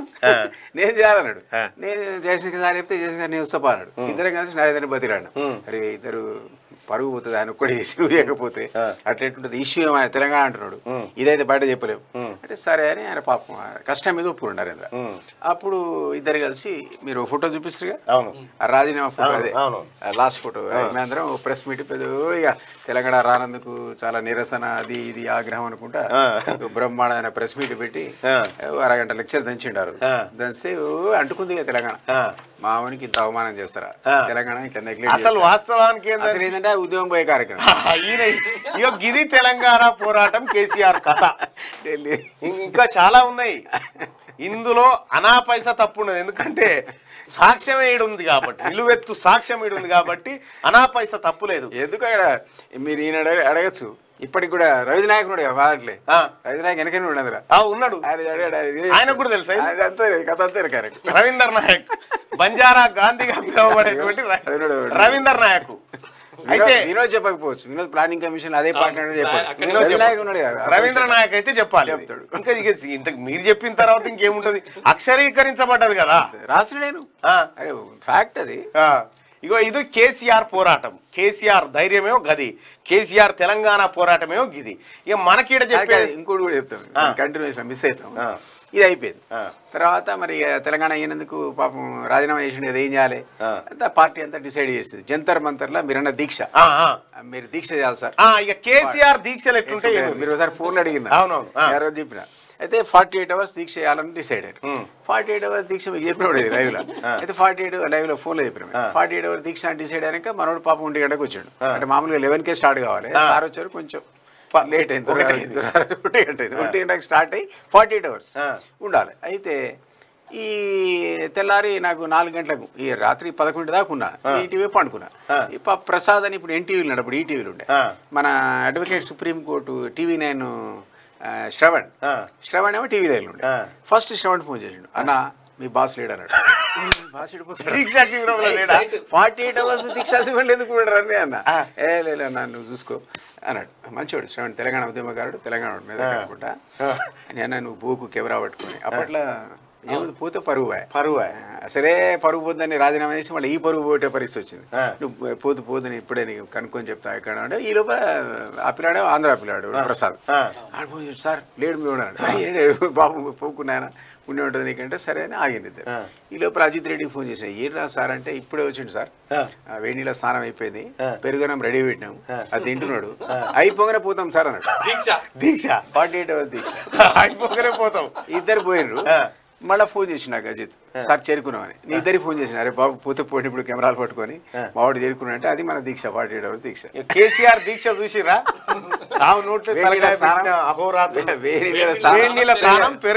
నలభై ఎనిమిది గంటలు దీక్ష కేసీఆర్ది. జంతర్ ఇక సాక్ష్యం ఈయనే ఇంకా నేను కాదు అజిత్ రెడ్డి అడగండి మీరు ఇదంతా ఎందుకు. వాడు మీడియా వాళ్ళు కదా. అవును. ఎవరు? శ్రవణ్. శ్రావణ్ గాని? ఇప్పుడైతే సుప్రీంకోర్టు న్యాయవాది. అట్లా ప్రసాద్ ఇంకా ఎన్టీవీలో ఉన్నాడు. మీరు అడగండి కరెక్టా కదా? మా సీనియర్ ఆయన ప్రసాద్. అవునా? ఆ. వాళ్ళిద్దరు పాపం. ప్రసాద్ ఆంధ్ర పిల్లవాడైనా ఆ రోజు కనుక మీరు వాళ్ళని మేనేజ్ చేయకపోతే అప్పుడే ఎక్స్పోజ్ అయిపోయింది దీక్ష? దీక్ష లేదు దీక్ష లేదు. నెక్స్ట్ దీక్ష ఉన్నా మాకు పో.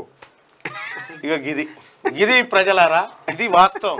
నేను మొత్తుకున్నా ఎవరు మొత్తుకున్నా ఇది సత్యం ఇది నిజం. ఈ చరిత్రని మాట చెప్పాలి.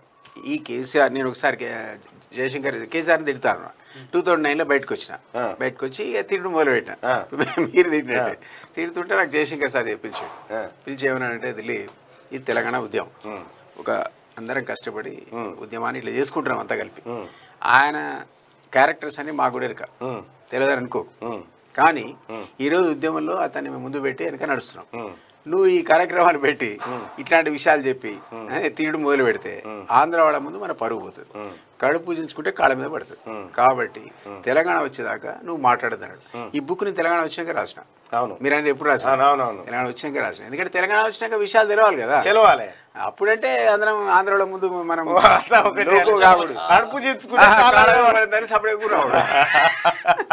కేసీఆర్ కథ ఇంకా చాలా అద్భుతాలు ఉన్నాయి. మనం చూద్దాం. దయచేసి మార్నింగ్ న్యూస్ చూస్తున్నటువంటి మిత్రులారా ఫస్ట్ లైక్ బటన్ని క్లిక్ చేయండి. ఇది మొత్తం తెలంగాణ ప్రపంచానికి తెలవాలి. ఈ టాపిక్ కపిలవాయి దిలీప్ కుమార్ అనేటువంటి వ్యక్తి? మామూలు వ్యక్తి కాదు.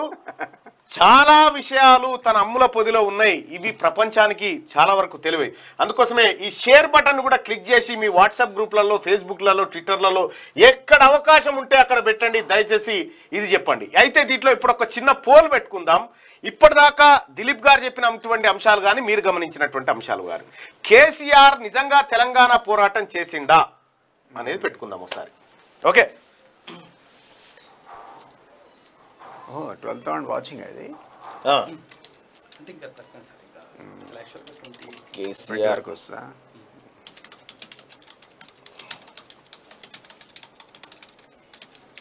ఫార్టీ వరకు కూడా వస్తుంది. మ్మ్.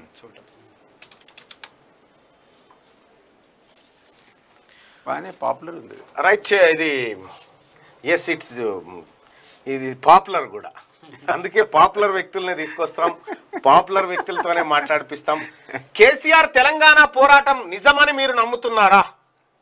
నూట డెబ్బై రెండు ఓట్లు. నాలుగు ఇప్పటిదాకా చెప్పినటువంటి అంశాలను మీరు దృష్టిలో పెట్టుకోండి.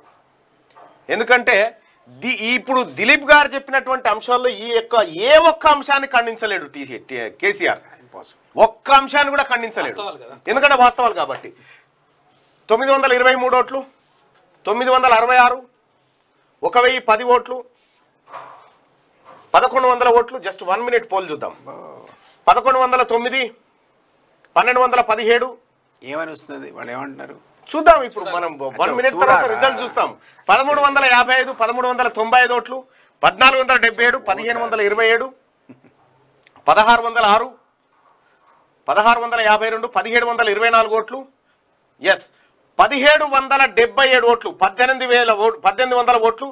రెండు వేల ఓట్లు చూద్దాం. పంతొమ్మిది వందల పద్దెనిమిది పంతొమ్మిది వందల డెబ్బై రెండు వేల ఓట్లు. చలో ఇంకా రెండో రెండో నిమిషం కొనసాగుతుంది. రెండు వేల మంది ఓటింగ్లో పాల్గొన్నారు.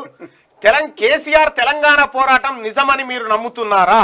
నమ్మితే అవునని. నమ్మితే అవునని లేకపోతే కాదని. మీరేమంటారు? అన్న? ఈ ఉద్యమాన్ని మనం కాదని కానీ నేనేమంటున్నా ఇటువంటి లేదు. ఏవైతే చాలా చేసాడు ఆయన. చాలా చేసినాడు రైట్.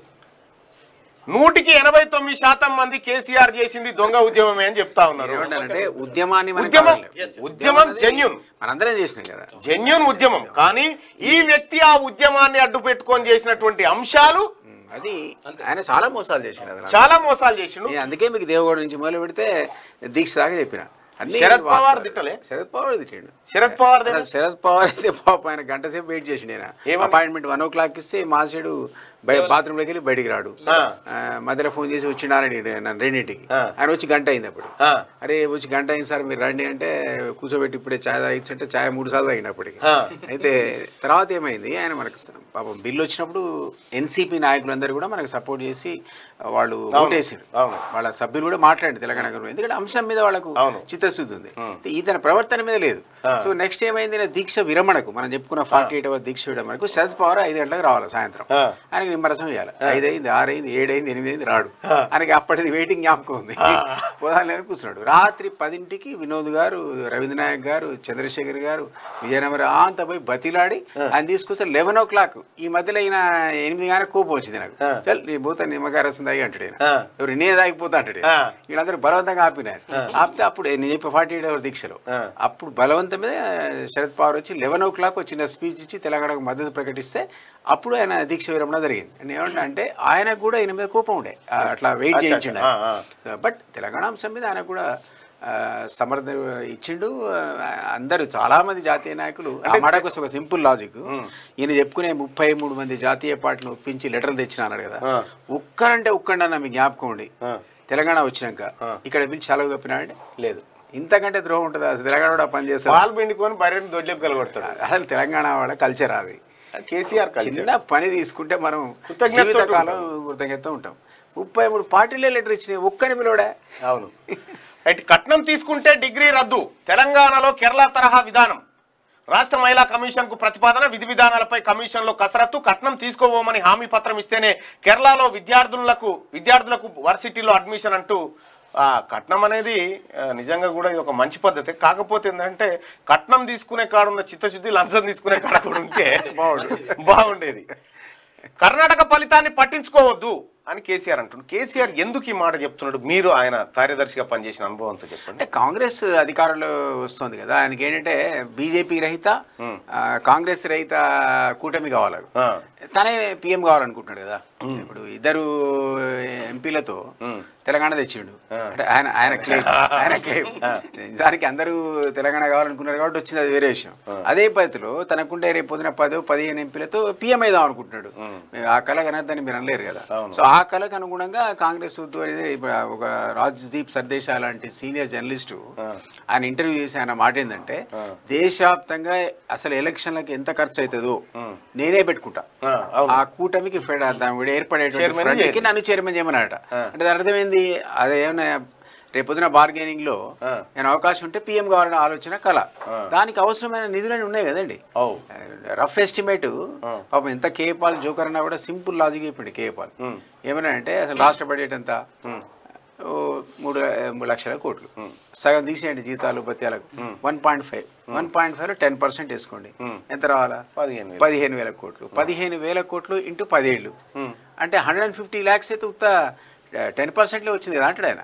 ఏది అఫీషియల్గా అసలు ఇక్కడ థర్టీ పర్సెంట్ ఆయన చెప్తున్నాడు తీస్ పర్సెంట్ ఆయన అన్నాడు. కేసీఆర్ చెప్పింది కేసీఆర్ దళిత బంధు పది అయితే మావాడు థర్టీ పర్సెంట్ తీసుకుంటాడు అన్నాడు ఆ. లెక్కన థర్టీ పర్సెంట్ లెక్కన మీకు యాభై వేల కోట్లు ఉన్నాయి. రాజీవ్ సదేశాయికి ఆయన ఏమంటున్నాడు యాభై వేల కోట్ల వరకు అవుతుందని అంచనాకు నేను పెట్టుకుంటా అంటాడు. అది ఇదంతా ఇల్లీగల్ వచ్చిన మనీ కదా. సో లాజికల్గా ఇది కాక ఇంకా sand mafia mining mafia land mafia ఇవన్నీ వేరే అదనపు ఆదాయాలే. నాలుగు లక్షల కోట్లు ఆయన దగ్గర ఉన్నదని ఒక రఫ్ అంచనా. చూసిరా తెలంగాణ ప్రజలారా? ప్రజల సొమ్ము నాలుగు లక్షల కోట్లు దొంగతనంగా కొట్టేసిండు కేసీఆర్ అనేది ఒక అంచనా. అంచనా. అక్కడ ఏ ప్రభుత్వం వచ్చినా ఒకటే తెలంగాణలో మూడోసారి మనమే గెలిచాం. నిజంగా ఇప్పుడున్న పొలిటికల్ సినోరియాని బట్టి కేసీఆర్ మళ్ళీ ముఖ్యం బీఆర్ఎస్ పార్టీ మళ్ళీ అధికారంలోకి వచ్చే అవకాశం ఉందా? అంటే ప్రమాదం ఏముందంటే మునుగోడు ఎలక్షన్స్ మీరు అప్పుడు కవర్ చేసి నేను చూసిన. ఓకే. అన్ఫార్చునేట్లీ అక్కడ ఏం జరిగింది? ఓటర్ ఏమన్నాడంటే ఒక ఆయన నాకు ఐదు వందలు ఇచ్చిండు. ఒక ఆయన రెండు వేలు ఇచ్చిండు. ఎవరు ఇచ్చిండు నేను చెప్పా? ఒక ఆయన ఐదు వందలు ఇచ్చిండు ఒక ఆయన రెండు వేలు ఇచ్చిండు. ఒక ఆయన ఐదు వేలు ఇచ్చిండు. ఐదు వేలు ఇచ్చిన ఆయనకు నేను నిజాయితీ కొట్టేసిన అంటున్నాడు. అరే మరి ఈ రెండు వేలు తీసుకున్నా ఐదు వందలు అంటారే? మనకి అవకాశం ఉంటే ఆయన దోసుకుంటాడా నాకు అవకాశం తీసుకున్నా ఎవరు ఎక్కువ ఇస్తే వాళ్ళకి ఇచ్చిన అంటున్నాడు.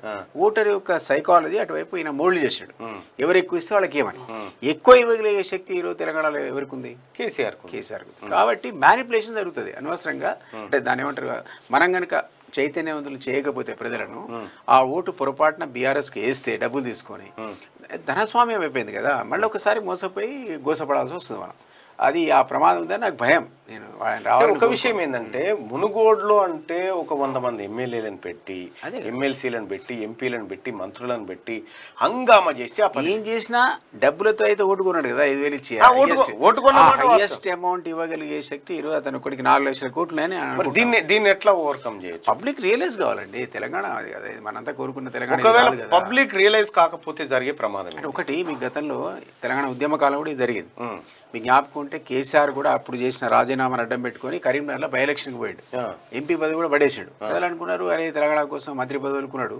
ఎంపీ పదవి అనుకున్నాడు మనం గెలిపించాలని అనుకుంటే రాజశేఖర్ రెడ్డి టూ హండ్రెడ్ క్రోర్స్ ఖర్చు పెట్టిండు ఆ రోజుల్లో. అవును. ఇతను ఓడగొట్టడానికి. అవును. పబ్లిక్ తీసుకున్నారు. ఓటు మాత్రం కేసీఆర్ కేసీఆర్ కేసీఆర్ అంత ఖర్చు పెట్టలే అప్పుడు. ఇప్పుడు కూడా జరగాలి. కేసీఆర్ ఇచ్చే డబ్బులు మనదే. శుభ్రంగా తీసేసుకోవాలి. ఓటు ఒక్క ఓటు కూడా ఇవ్వడు అసలు బీఆర్ఎస్ కేసు కథమేనా పోయి మోసం చేయరి. అంతే. ఇక్కడ నిజాయితీ అవసరం లేదు. ఇక్కడ నిజాయితీ అవసరం లేదు ప్రజలారా. ఎందుకంటే మన డబ్బే కదా. మన డబ్బే మీ డబ్బే నాలుగు లక్షల కోట్ల రూపాయలు. వాపస్ రావాలి కదా. ఏది వానలు వాపస్ రావాలన్నట్టుగా మీ పైసలు మీకు వాపస్ రావాలి. ఆ సొమ్ము మీకు దక్కాలంటే కేసీఆర్ పంచే ప్రతి పైసా మీదే తీసుకోండి డబ్బులు తీసుకోండి డిమాండ్ చేయొచ్చు. డిమాండ్ చేయొచ్చు. కానీ. పరద సాటుకు పోయినాక మీ అంతరాత్మ సాక్షిగా మీ పిల్లల తెలంగాణ కోసం వేయాలి. మీ తెలంగాణ కోసం మీ తెలంగాణ కోసం ఓటేసుకోండి ప్రజాధనంతో కేసీఆర్ సొంత డప్పు. ఐదు ఐదు నెలలు ఆగితే బీఆర్ఎస్ సర్కార్ను ప్రజలే నిషేధిస్తారు. కర్ణాటక ఫలితాలతో తెలంగాణకేం ఏం సంబంధం? రాష్ట్ర పరిస్థితులను బట్టే ప్రజల తీర్పు. బీజేపీ ఉపాధ్యక్షుడు బండి సంజయ్ చెప్తున్నటువంటి మాటలు మనం ఒకసారి చూడవచ్చు ఇక ఇప్పుడు ఈ ఈ ఈ కాలంలో ఈ ఉద్యమ కాలంలో లేకపోతే ఈయన ప్రస్థానంలో ముఖ్యమంత్రిగా ఏ ఒక్కనాడు అమరులు లేకపోతే ఇంకొక టాపికే లేదు. కానీ ఇవాళ ఉ- ఉత్సవాలు గట్టిగా చేయాలి తెలంగాణ ఆవిర్భావ తెలంగాణ ఆవిర్భావ ఉత్సవాలా లేకపోతే ఇది కేసీఆర్ ఒక పదో వసంతంలోకి అడుగు పెడుతున్న సంబరాలా? అర్థం కానటువంటి పరిస్థితి. అయితే దీనికోసం విచ్చలవిడిగా ప్రజాధనాన్ని ఖర్చు చేస్తూ ఉన్నాడు. అంటే కేసీఆర్కు ఖర్చు పెట్టే గుణం ఏ విధంగా ఉంటుంది? కేసీఆర్ ఖర్చు బాగా పెడతారు అందులో అనుమానం లేదు. అది మీకు వంద రూపాయలు జేబులు ఉంటే సాయంత్రం కల్లా వంద ఖర్చు అయిపోవాలనే ఆలోచనోడే ఆ, అది కాకపోతే ఎందుకు తీసుకుంటో అర్థం కాదు. అవసరం లేని కలెక్షన్. కలెక్షన్లు కూడా అట్లే ఉంటాయి? కలెక్షన్లు కూడా విపరీతంగా ఉంటాయి. దాని ఎందుకోసం అర్థం కాదు. ఇప్పుడు ఇంత ఖర్చు పెట్టదలుచుకున్నప్పుడు తీసుకోవాల్సిన అవసరం కూడా లేదు కదా. లేదు. మరి ఆ నేచర్ అట్లుంటుంది. తీసుకుంటాడు ఖర్చు పెడతాడు. తీసుకుంటాడు ఖర్చు పెడతాడు. కొంత వెనకేస్తాడు ఇక సహజంగా అన్ని చోట్ల జరుగుతుంటాయి. ఆయన వెనక ఉండి చాలా మంది ఆయన పేరు చెప్పి డబ్బులు వసూలు ఉద్యమకాలంలోనే పుల్లని వేల కోట్లు సంపాదించారు. నేను మీకు క్లాసిక్ ఎగ్జాంపుల్ చెప్తా. నాకు హనుమంతర అని పేరేంటి? ఆదిశేషరావు ఫోన్ చేశాడు. కృష్ణ గారి తమ్ముడు. ఘట్టమనేని కృష్ణ గారి తమ్ముడు. ఇష్యూ ఏంటంటే ఆయన దగ్గర మన తెలంగాణ ఉద్యమకారులందరూ పోయి జెండాలు పోతారు. ఇది స్టూడియోలో. ఆ, ఎవరు బాధ ఇచ్చినట్టు హరీష్ రావు ఆ, పద్మాలయ స్టూడియోలో. పద్మాల ఆ, నాకు ఫోన్ చేయండి సార్ నేను కష్టపడి స్టూడియో తెచ్చి మీద పెట్టుకున్నాం. ఈ అన్యాయం సార్ మాకు ఇట్లా బాతినట్టే. ఎందుకు ప్రాబ్లం ఏంటంటే అక్కడ commercial complex కడుతున్నారట. As per rules commercial complex కట్టడానికి స్టూడియోలలో వీలు కాదనేది ఓ రూల్ ఉందట. నాకు కూడా తెలియదు అది ఉద్యమకాలం తీవ్రమైన పీక్. నేనన్నా నేను సార్తో మాడతాను నేను కేసీఆర్ గారు వచ్చి చెప్పిన. సార్ ఇది అన్యాయం. పాపం సినీ పరిశ్రమ ఎంతో కష్టం మీద ఆ రోజులు అందరు తీసుకొచ్చింది ఇక్కడ. తరలించారు. ఇట్లా మనం ఇబ్బంది పెడితే వాడు తెలంగాణ వచ్చాడు కదా పారిపోతాడు. అది కరెక్ట్ కాదంటే ఆయన అన్నాడు ఒకసారి హరీష్తో మాట్లాడన్నాడు అంటే ఆల్రెడీ హరీష్ ఈయన మాట్లాడుకున్నాడు సరే నేను హరీష్ చెప్పిన. రే బాబు చెప్పిన మీ మాయకు అర్జెంటుగా జెండాలు పీకి చేసాడు పోవడానికి వీలేదన్న అన్న ఆయన అనలే అది నువ్వు అర్జెంట్ జెండాలు పీకంటే మీరు ఒకసారి మాయతో మాట్లాడినారు ఆ. మాయతో మాట్లాడి అయిపోయింది. నీకు వార్నింగ్ ఇస్తున్నాడు పోతాను? అంటే అన్న నువ్వు వెనక సార్తో మాట్లాడి ఉంటే ఓకే అన్నాడు. అని వాళ్ళు విత్డ్రా చేసుకున్నారు. ఏంటి విషయం అంటే అది విత్డ్రా అది విత్డ్రా చేసుకోవడానికి ఎవరో ఎవరు పోయిండో హరీష్ పోయిండో ఇంకోటి పోయిండో ఉద్యమకాలంలో ఐదు కోట్లు డిమాండ్ చేశాడు వాళ్ళ దగ్గర. హరీష్ రావు. సరే సమ్ పేరు చెప్పాయి. ఆ, జెండాలు పాతిన వ్యక్తి ఎవడైనా కానీ ఫైవ్ క్రోర్స్ ఇస్తే జెండాలు తీసేస్తామంటే. ఎప్పుడు అది తెలంగాణ ఉద్యమ కాలంలో. అది మన దృష్టికి వచ్చిన ఒక సంఘటన. ఎంతమంది దగ్గర మీరు ఒకసారి పాతది నరేంద్రది ప్లే చేయండి. ప్లే చేస్తే. నేను కూడా విన్నది నేను కేసీఆర్ కూర్చొని నరేంద్రతో గొడవపడి నరేంద్రని బహిష్కరించినాక నరేంద్ర ప్రెస్ మీట్ పెట్టండి. ఆ. ప్రెస్ మీట్లో ఆయన వాడిన వర్డ్స్ ఏంటంటే తెలంగాణ ఉద్యమాన్ని అడ్డం పెట్టుకొని ఈ మామ అల్లుళ్ళు. మొత్తం పారిశ్రామికవేత్తలు పిండి పిండి వసూలు చేస్తున్న డబ్బు. తెలంగాణ సంఘ దేవుడు వీళ్ళ కలెక్షన్స్ ఎక్కువైనాయి అని నరేంద్ర. మీరు ఒకసారి ప్లే చేయండి. హరీష్ రావు ప్లస్ కేసీఆర్. ఆ, ఇద్దరు పిండి తిట్టిండు ఆయన. ఉద్యమాన్ని అడ్డం పెట్టుకొని ఆ, వేల కోటి సంపాదించిన అన్నాడు. అది చరిత్ర. అప్పటి నుంచే ఉంది ఈ కథ. రైట్గా రాజగోపాల్ సొంత గూటికంటూ క్వశ్చన్ మార్క్తో ఒక వార్తను ఆంధ్రజ్యోతిలో. మళ్ళీ కాంగ్రెస్లోకి వెళ్ళాలని మాజీ ఎమ్మెల్యే యోచన. మూడు రోజులుగా అనుచరులతో చర్చలు. రేవంత్ సారీ చెప్తే ఆలోచిద్దామని స్పష్టం. రాష్ట్రంలో బీజేపీ భవితపై అనుమానం. ఈటలకు నాయకత్వం అప్పగించిన పరిస్థితిలో మార్పు ఉండదని భావన. మోదీ గ్రాఫ్ పడిపోతుందని వ్యాఖ్యలంటూ ఒక వార్తను చూస్తా ఉన్నాం. రాజగోపాల్ రెడ్డి ఇప్పటికే క్లియర్గా చెప్పిండు. నేను బీజేపీలోనే ఉంటా. తప్పుడు వార్తలు వేయొద్దన్నమాట ఆయన ఖండించిండు. ఖండించిన తర్వాత కూడా కొంత మీడియా మరి ఎందుకు ఇంట్రెస్ట్ చూపిస్తా ఉందో ఈ అంశంలో అర్థం కాదు. ఇక రంజుగా కర్ణాటకం. సీఎం పదవి కోసం సిద్ధు డీకే ఉడుంపట్టు తొలుత సిద్ధుకే కాంగ్రెస్ అధిష్టానం మొగ్గు. డిప్యూటీ సీఎం కు డీకే ససేమిరా సీఎం పదవి తనకిస్తే సరేనని లేదంటే ఖర్గే చేపట్టాలని డీకే ప్రతిపాదన.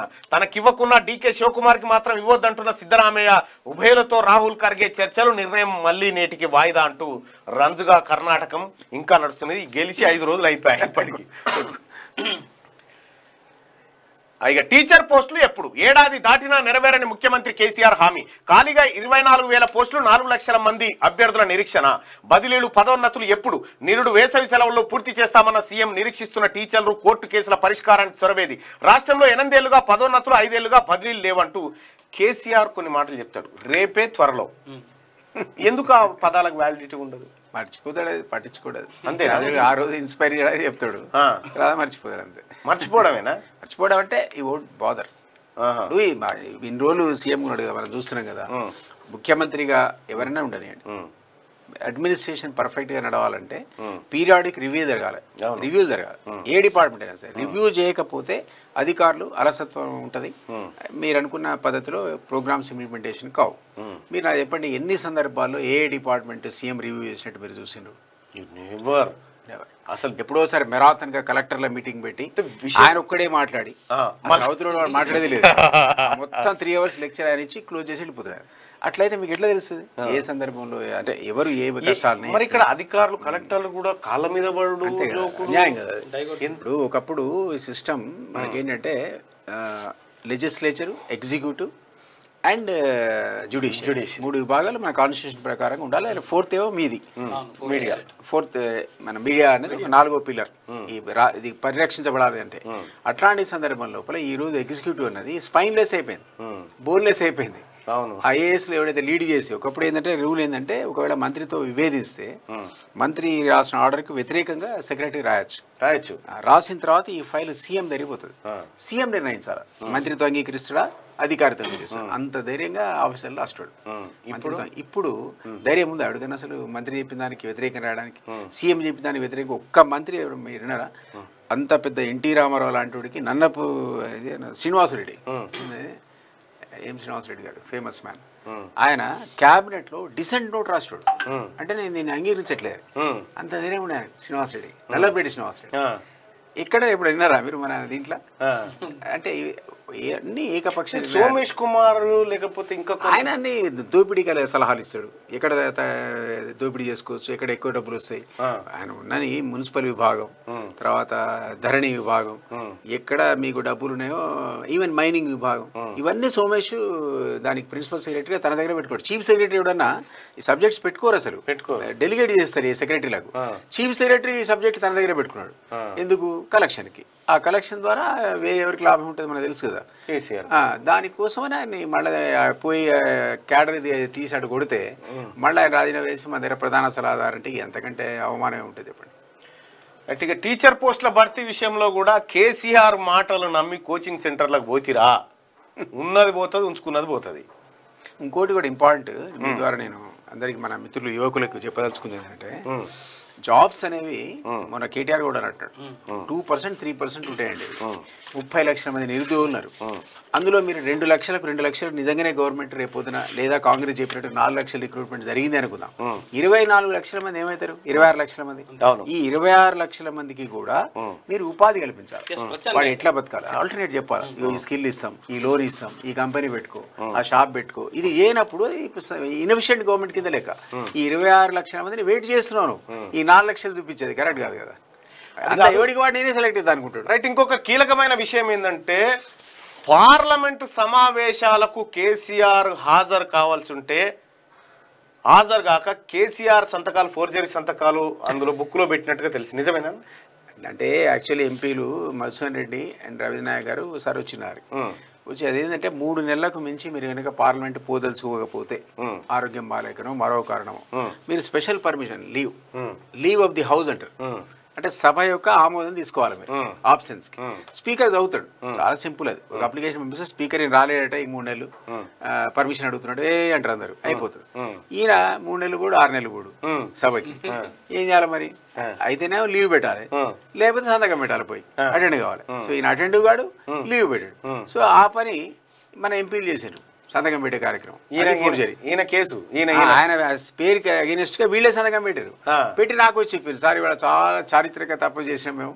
ఏదా తప్పు? అని అడిగిన. అంటే ఆయన సంతకం మేము పెట్టాం. అరే ఇదే ఎదురు పెట్టాం? పార్లమెంటు పార్లమెంట్ రిజిస్టర్లో తీరిక లేదు మరి. చాలా బిజీ పర్సన్. ఎట్లా పెడతారు మీరు అన్న నేను. ఏం చేయాలి సార్ బాస్ అడిగిన అన్నారు. ఆ బాస్ అడిగినని నేను ఎక్కడ అది నాకే చెప్పిన ఒకటి. ఒక మీడియా ఇంటర్వ్యూలో ఇది జరిగిందని రవీంద్ర నాయక్ గారు కన్ఫర్మ్ చేయడం కూడా నేను విన్నా. నిజమే అని. చెప్పిండు. చెప్పండి చెప్పిండు మా మీ- మా మీడియా ఇక్కడ విన్నా నేను రైట్ ఇక ముప్పై వేల ఎకరాలు సర్కార్ భూములను అమ్ముతున్నారు. బడా కంపెనీలకు విలువైన భూములు ప్రతిగా డబ్బు తట్టుకుంటున్న కేటీఆర్. మేము వస్తే ఆ భూములు వెనక్కి అని బట్టి రాజకీయ ఎదుగుదల కోసమే కేసీఆర్ భూముల అమ్మకం ఆర్ఎస్ ప్రవీణ్ కుమార్ రాష్ట్రాన్ని అమ్మకానికి పెట్టారంటూ షర్మిల. నిన్న ఇవాళ కేటీ రామారావు ఏదైతే కంపెనీలు వస్తా ఉన్నాయి విపరీతంగా పెట్టుబడులు నిన్న ఇవాళ ఏదో వార్నర్ బ్రదర్స్ తోని మీటింగ్ న్యూయార్క్లో అదేదో చర్చ జరుగుతా ఉంది. మొన్న ఫాక్స్కాన్ ముచ్చట వస్తా ఉంది. ప్రజలారా నిరుద్యోగ యువకులారా తెలంగాణ మేధావులారా ఇప్పుడు నేను ఒక క్లియర్ లెక్క చెప్తా.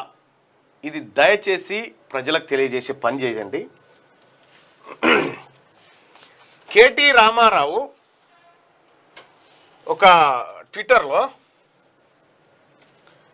ఇగో ఇది minister for IT industries municipal administration and urban డెవలప్మెంట్కు సంబంధించి a team from incredible husk international group led by Mr Keith Ridgway CEO of incredible husk UK and Seeka Chandrasekhar CEO of incredible husk India met with IT and industries minister Shri so and so KT Ramarao in London to discuss the establishment of their husk pallets and plastic industry in Telangana అని చెప్పి వీళ్ళు పెట్టిరు దీన్ని మన Ramulu retweet చేసిండు.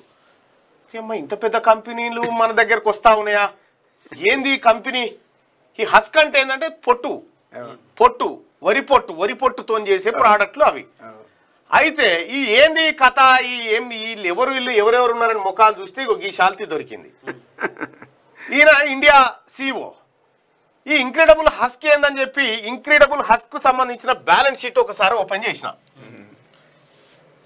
Balance sheet open చేస్తే వాళ్ళ అకౌంట్లో ఉన్న డబ్బులు ఏంటంటే రెండు వేల నాలుగు వందల పద్దెనిమిది పౌండ్లు ఉన్నాయి. రెండు వేల నాలుగు వందల పద్దెనిమిది పౌండ్లు cash at bank and in hand. అంతే. ఈ కంపెనీ దగ్గర ఉండే రెండు వేల నాలుగు వందల పద్దెనిమిది పౌండ్లు అంటే ఒక్కసారి చూసుకుందాం. మన కరెన్సీలో కన్వర్ట్ చేసి చూసుకుందాం.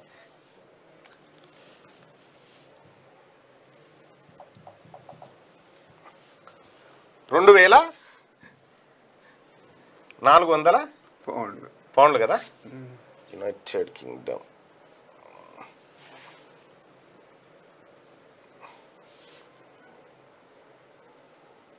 ఏమని ఉంటుంది Britain pound? British pound. B. మొత్తం ఆ కంపెనీ దగ్గర ఉన్న పైసలు ఎన్నో ఒకసారి చూస్తే మనకు కూడా ఒక లెక్క వస్తుంది. బ్రెజిలియన్. పౌండ్ అని కొట్టాడు. బ్రిటిష్ పౌండ్ రావాలి మరి. మరి రావాలి. పౌండ్ అని రావాలి. పౌండ్ అని ఇక్కడ పౌండ్ వచ్చింది పౌండ్ కింద. ఇదా? Pound sterling. స్టెర్లింగ్ కాదు అది.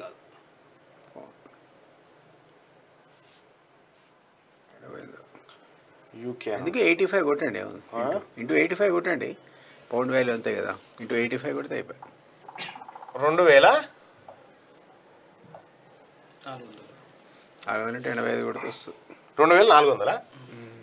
రెండు వేల నాలుగు వందలు పెట్టుకుందాం. అనుకో రఫ్గా ఎయిటీ ఫైవ్ అండి ఎక్కువనే ఉంటుంది పౌండ్ వాల్యూ కానీ. ఎనభై ఐదు అనుకున్నా కూడా. లక్ష తొంభై ఏడు వేల ఎనిమిది వందల డెబ్బై నాలుగు రూపాయలు ఉన్నాయి ఆ కంపెనీ దగ్గర. రెండు లక్షలే రూపాయలు ఉన్నాయి ఆ కంపెనీ దగ్గర. ఈ రెండు లక్షల రూపాయలు ఉన్నటువంటి కంపెనీ ఆయన తెలంగాణ రాష్ట్రంలో ఏం పెడతాడు? ఏం తౌడు కంపెనీ? తౌడు కంపెనీ పెట్టి ఈ కంపెనీ ద్వారా మనకు ఈ- కోట్ల రూపాయలు. ఆ, ఈ కంపెనీ అద్భుతమైన కంపెనీ ఇక్కడికి రాబోతా ఉందని చెప్పి చెప్తాను. రెండు లక్షలు ఉన్నాయి. మరి ఇం- ఇంకా ఏందట అంటే ఈ కంపెనీ ఏమేం పెడుతుందట? ఈ ఎవరయ్యా ఈ కంపెనీ కథ ఏంది కార్ఖానా ఏందంటే ఇగో ఈయన ఉన్నాడా. కవితతో ఇట్లా చేతులు కట్టుకొని ఇగో ఈయననే ఇండియా సీఈఓ. ఏం పేరు ఆయన. గౌడు. శేఖర్. ఆ, ఇగో ఇగో ఈయననే అన్నట్టు కోట్ వేసుకుంటే ఇట్లుంటాడు. ఇక కండు వేసుకుంటే ఇగో ఇట్లుంటాడు. ఓ. చెన్నారే టిఆర్ఎస్ ఉన్నాడా? ఇగో ఈ సారు ఇగో సీకా చంద్రశేఖర్ గౌడు. ఇక ఈయన కంపెనీ తీసుకొస్తారంటే ఇగో ఈ కాగితాలు ఎంబోయిలు ఇలా తాను ఉన్నాయి రెండు లక్షలు. కోట్లకి అయిపోయి ఉంటుంది ఈ కోట్లకి అయిపోయి ఉంటుంది ఈ ఈ కోట్లకు ఈ సూట్లకే సరిపోయింది కదా ఈ రెండు లక్షల కథ. అది ఇంటర్నేషనల్ సంస్థ మళ్ళీ. Internet ego wow. The team was led by CEO of incredible husk UK Keith Ridgway and CEO of incredible husk India Seeka Chandrasekhar Chandrasekhar అంటే ఏమీ లేదు. కేటీ రామారావు ఇక్కడ దోచినటువంటి డబ్బును ఇంటర్నేషనల్ గ్రూప్ లిమిటెడ్. అదే ఈ- డబ్బును మళ్ళీ అటుకేని మళ్ళీ ఇటు తీసుకొస్తాడు Shell అన్నట్టు. company, Shell company. Shell company. మనకు వస్తున్న కంపెనీలన్నీ అద్భుతాలని పొరపాటున కూడా అనుకోకుర్రి. Shell వాళ్ళ బ్యాలెన్స్ షీట్ చూస్తే చెప్తుర్రు. చేతిలా బ్యాంకులు అంతా కలిపి వాళ్ళ తానున్న పైసలు ఇవి రెండు లక్షల రూపాయలతోటి ఇడ యూకే నుంచి ఇంటర్నేషనల్ కంపెనీ ఇడ పెడతారు. అంతర్జాతీయ సంస్థ అది. అంతే ఇగోంది ఇంక్రెడిబుల్ హస్క్ ఇంటర్నేషనల్ గ్రూప్ పేరంతే? పేరంటే పెట్టుకున్నాడు ఇక గిదా వీళ్ళ కంపెనీలు గివి వీళ్ళ లెక్కలు. ఇక ముప్పై వేల ఇప్పుడు ఆ కంపెనీకి ఏం చెప్తాడంటే అప్ప చెప్తాడు. భూములు ఇవ్వాలి కదా భూములు. ఇవ్వాలి కదా యాభై ఫ్రీ కూడా ఇస్తారు. ముప్పై సంవత్సరాల ఎకరాలు, లీజు? తొంభై సంవత్సరాల లీజు? ఓ ఓ వంద ఎకరాలు ఇచ్చేసింది అనుకో లీజుకి ఇస్తారు ఈ. వంద ఎకరాలలో వాచ్మెన్ రూమ్ అంత ఉంటది వాని కంపెనీ. ఇక తతిమదంతా రామని పని. అంతే. ఇగో ఇది లెక్క ప్రజలారా. ఈ ఐదేళ్ళు ఎండ ప్రచండమే అని చెప్పి చెప్తా ఉన్నారు. జాగ్రత్తగా ఉండండి. హైకోర్టు తుది తీర్పుకు లోబడి అమరావతిలో రాజధానియేతర ఇది అమరావతి పంచాయతీ మనకు పావుల లాభం లేదు. దూసుకొచ్చిన మృత్యు అంటూ ఆటో ఢీ కొట్టిన లారీ ఆరుగురు మృత్యు వార్త ఉంది. ఇక లంచం తీసుకోవడం అంటే మనీ లాండరింగే అవినీతి కేసులు అవునన్నా నాకు డౌట్ ఈ కేసీఆర్ పిఎఫ్ల కుంభకోణం మీద ఉందని అన్నారు. నిజంగా అది ఉందా? పిఎఫ్ పిఎఫ్ కుంభకోణము సహారా ఇండియాకి సహారా సహారా. సహారాకి పిఎఫ్ ఎగ్జామ్షన్ ఇచ్చిండు ఆయన. ఇచ్చిన మాట వాస్తవమే. అవునా? అదేంటంటే అప్పుడు డిపార్ట్మెంట్ రాసింది. ఈ సహారా అనేటోడు మునిగిపోతున్నాడు. వీనికి ఇవ్వద్దు. వీనికి ఇస్తే అంటే జనరల్గా ఎంప్లాయీస్ అంటే పది మంది దాటితే పిఎఫ్ కట్టాలి. మీరైనా నేనైనా ఎవరైనా కంపెనీ మనకు ఉంటే అందరు ఉద్యోగస్తులు పది దాటితే వాళ్ళ జీతం నుంచి మనం కొంత శాతం కట్ చేసి మళ్ళీ మనం ఎంత కట్ చేసినామో అంత కలిపి కలిపి అది వేస్తే అది వాళ్ళది భవిష్య నిధి. భవిష్య నిధి. ఆ భవిష్య నిధి పెన్షన్ కింద వాళ్ళు రిటైర్ అయినాక పనికి వస్తుంది లేదా పెళ్ళికో ఇల్లు కట్టుకోవడానికో చదువుకో డ్రా చేసుకోవచ్చు సెవెంటీ ఫైవ్ పర్సెంట్ ఇది ప్రొవిజన్ అదేంటంటే అది ఎందుకు పెట్టిండ్రు అంటే వాళ్ళది సెక్యూరిటీ కోసం ప్రైవేట్ వాళ్ళ నుంచి కలెక్ట్ చేస్తే వీళ్ళు గవర్నమెంట్ మేనేజ్ చేసి ఇస్తుంది. పిఎఫ్ అంటే ప్రభుత్వ రంగ సంస్థ. అయితే సహారా వాడేమన్నాడు నాకు ఆ శక్తి ఉంది నేనే పిఎఫ్ మేనేజ్ చేసుకుంటా. నాకే ఎగ్జామ్షన్ ఇవ్వండి అన్నాడు. అంటే వాడే మేనేజ్ చేసుకోవచ్చు. వాడే కట్ చేసుకోవచ్చు వాడే యాడ్ చేసుకోవచ్చు వాడో సంస్థ పెట్టి వాడే పెన్షన్లు ఇస్తాడు ఉద్యోగస్తులకి. అయితే డిపార్ట్మెంట్ అనేది వీడు మునిగిపోతున్నాడు ఆల్రెడీ. వీడాడ మేనేజ్ చేస్తాడు ఇయ్యద్దు అన్నాడు. అంటే ఆయన ఓవర్ రూల్ చేసి. ఇచ్చేసిండు పర్మిషన్ ఇచ్చినాక సంవత్సరానికి వాడు నిండా మునిగిండు. ఈ పైసలతో పాటు మునిగిండు వాడు. ఈ ఉద్యోగస్తులు వాడు ఇచ్చిన జీతం డబ్బులు పోయినాయి. కంపెనీ ఇచ్చిన డబ్బులు మునిగి మొత్తం మునిగి వేలాది మంది ఉద్యోగులు రోడ్లు ఎక్కి ధర్నాలు చేసిండు నేను అప్పటికి దొర ఆల్రెడీ మన హైదరాబాద్కి వచ్చేసిండు. అట్లుంటది. మనోడు సంతకాలు పెట్టనే పెట్టాడు ఇట్లుంటది. ప్రళయమే. ప్రళయమే ఇట్లా. హైదరాబాద్కు వార్నర్ బ్రదర్స్ డెవలప్మెంట్ సెంటర్ ఏర్పాటుకు అమెరికా సంఘ సంస్థ అంగీకారం. ఈ అన్ని చూచూ మంతర్ కార్యక్రమాలు ప్రజలారా నమ్మకండి. ఎందుకంటే వార్నర్ బ్రదర్స్ అదొక పెద్ద మూవీ నిర్మాణ సంస్థ వార్నర్ బ్రదర్స్ అనేది. ఈ కేటీ రామారావు అందం సందం చూసి ఉరుకొచ్చి పెడుతున్నారు ఈడ. ఒక్కటే ఒక్క మాట ఇక్కడ దోచిన డబ్బు మళ్ళీ వేరే రూపంలో మళ్ళీ ఇక్కడికి వస్తా ఉంది. అది జాగ్రత్తగా ఉండండి. ఎరువుల రాయితీకి ఒకటి పాయింట్ సున్నా ఎనిమిది లక్షల కోట్ల రూపాయలు. ఇది బాగా చూడండి. ఎరువుల రాయితీకి ఒకటి పాయింట్ సున్నా ఎనిమిది లక్షల కోట్ల రూపాయలు. యూరియా సబ్సిడీకి డెబ్బై వేల కోట్లు ఫాస్ఫేట్ పొటాషియంకు ముప్పై ఎనిమిది వేల కోట్లు. ఐటీ హార్డ్వేర్లో పిఎల్ఐకి పదిహేడు వేల కోట్లు ఆమోదించిన కేంద్ర మంత్రివర్గం. ఆమోదించింది కదా? నువ్వు ఒకటి పాయింట్ సున్నా ఎనిమిది లక్షల కోట్ల రూపాయలు ఎరువుల కోసం సబ్సిడీల కోసం కేంద్ర ప్రభుత్వం కేటాయించింది. నమస్తే తెలంగాణలో ఉన్నటువంటి వార్తను ఇక్కడ కంపేర్ చేస్తూ మనం చూడాలి. అన్నదాతపై ఎరువు బరువట. అన్నదాతపై ఎరువు బరువు. ఎవడు ఆదుకుంటలేడు అన్నదాతని అంటాడు. ఇప్పుడు మోడీ ప్రభుత్వం ప్రకటించిన లక్ష ఎనిమిది వేల కోట్ల రూపాయల లక్షల కోట్లకు సంబంధించింది ఈ టాపికే లేదు ఇలా అది చూసి జనం అయితే ఇది కన్ఫ్యూజన్ వార్త ఒకటి ఉండాలి కాబట్టి ఇట్లా రాసుకొచ్చారు అన్నట్టు ఆంధ్రజ్యోతిలో ఉన్నటువంటి వార్తలు ఇవైతే ఒకసారి శనార్థి తెలంగాణలో ఉన్నటువంటి వార్తల్ని చూద్దాం. క్యాడర్కు ధైర్యం చెప్పిన పోషెట్టి టీఆర్ఎస్ భవన్లో నేతలతో మీటింగ్. మనం గెలుసుడు కంటే కాంగ్రెస్ రాదన్న భరోసానే ఇచ్చిండు. కర్ణాటక దెబ్బతోని పార్టీ వీడకుండా ప్రయత్నాలు మళ్ళీ మనదే సర్కార్ అంటూ ఏతులు కొడతా ఉన్నాడు. కేవలం మనం గెలుసుడు మాట తర్వాత ఇంకా ఆయన ఏం చెప్తా ఉన్నాడు అంటే అందులో నేను మీరు మనం ఏం పను పనులు చేసినామో ప్రజలకు చెప్పండి. నువ్వు పనులు చేస్తే ప్రజలకు ఎందుకు తెలియదు ఇదంతా? మనం ఏం చేసినామో ప్రజలకు చెప్పుండి ఆడ వట్టినే వట్టి ఏడేయాల సార్ ఓటాన్ని వాళ్ళే ఉరుకొస్తారు అని అంత ఈజీగా చెప్పిండు. నిజంగా నువ్వు పనులు చేసినట్టు చెప్పాల్సిన పని ఏముండే? వాళ్ళే చర్చించుకుంటారు. వాళ్ళే చర్చించుకొని వేస్తారు కదా. నువ్వు ఏం చేయలేదు కాబట్టి ఈ డ్రామా. ఇప్పుడు రేషన్ డీలర్ల వంతు. గప్పుడు ఆర్టీసీ కార్మికులు మొన్న విఆర్ఏలు నిన్న పంచాయతీ సెక్రటరీలు సర్కార్పై సమరం చేస్తున్నారు సగంలోనే వదిలేస్తున్నారు. కారణం ఏంది కేసీఆర్ అనేటువంటి వ్యక్తి ఒక ఇందిరా పార్క్ దగ్గర ఒక పది మంది పోయి కూర్చుంటే మీ బాధ ఏందయా అని కనుక్కొని పోయి ప్రభుత్వానికి నివేదించేటువంటి ఒక వ్యవస్థ ఉండే. ఇందిరా పార్క్ ఇడిచిపెట్టి మొత్తం వ్యవస్థలే సమ్మెలో ఉంటే కూడా సగం సార్ పట్టించుకుంటలేడు. ఎందుకు ఇంత మొండిగా ఉంటాడు కేసీఆర్? అది యాటిట్యూడ్ అయింది నేచర్ అట్లా. అంతేలే. నేను చెప్తున్నా రివ్యూలు కనుక జరిగితే ఆయనకు ప్రతి విషయం ఆఫీసుల ద్వారా ముందే తెలుస్తాయి. ఏ రివ్యూ చేయడు కదా ఇప్పుడు అదంతా పక్క పెట్టండి. Main law and order. Law and order subject home minister దగ్గర ఉండదు. హోమ్. మినిస్టర్ లాఠీ ఉంటుంది లాఠీ ఉండదు టోపీ ఉంటుంది. మనకి ఏ పవర్ ఉండదు అసలు. నేను అసలు నేను హోమ్ మినిస్టర్కే ప్రైవేట్ సెక్రటరీ పనిచేసిన. సో అధికారాలని కూడా లా అండ్ ఆర్డర్ ముఖ్యమంత్రి దగ్గర ఉంటాయి. ఏ ముఖ్యమంత్రి కూడా లా అండ్ ఆర్డర్ అప్పచెప్పడు హోమ్ మినిస్టర్కి అవును. ఎందుకంటే ఐపీఎస్ అధికారులు ఆయన చెప్పిన మాట వినరిగా హోమ్ మినిస్టర్ దగ్గరికి వెళ్ళిపోతారు. అవును. సో అందువల్ల ఈయన కూడా లా అండ్ ఆర్డర్ రివ్యూ చేయాలి కదా. లా అండ్ ఆర్డర్ రివ్యూ అయిపోతే ఇంకేం చేస్తావు? మొదటి ఐదేళ్ళలో ఒక్కసారి రివ్యూ చేసిండు. ఇప్పుడు నాలుగేళ్ళలో ఇంకోసారి చేసిండు. ఎడ్యుకేషన్ మీద ఇప్పటిదాకా ఒక రివ్యూ లేదు. అసలు లేదు. ఈ తన ఓన్ షాక్ అయ్యి one one time ten two year two terms entire ఇయర్లో అయితే ఇలా ఆర్డర్ ఎట్లా బాగుంటుంది చెప్పండి. సార్ మీ కార్కి అట బ్యాంక్ రైట్ సార్ ఒక ఒక మాట. ఈ రుద్రాక్షమాల మహిమ అని ఒకటి రాసిరు సార్ ముప్పై ఒకటి. అసలు రుద్రాక్షమాలకి కేసీఆర్కి ఏం సంబంధం ఉంది? ఇంపార్టెంట్ టాపిక్ అది. సరదాగా రాసిన. యాక్చువల్లీ ఏమైందంటే వాస్తవమే రోజు వాస్తవే రోజు నేను పోయినా పోతే డ్రైవర్ నా డ్రైవర్ ఎవడు ఇచ్చేయి. ఆ.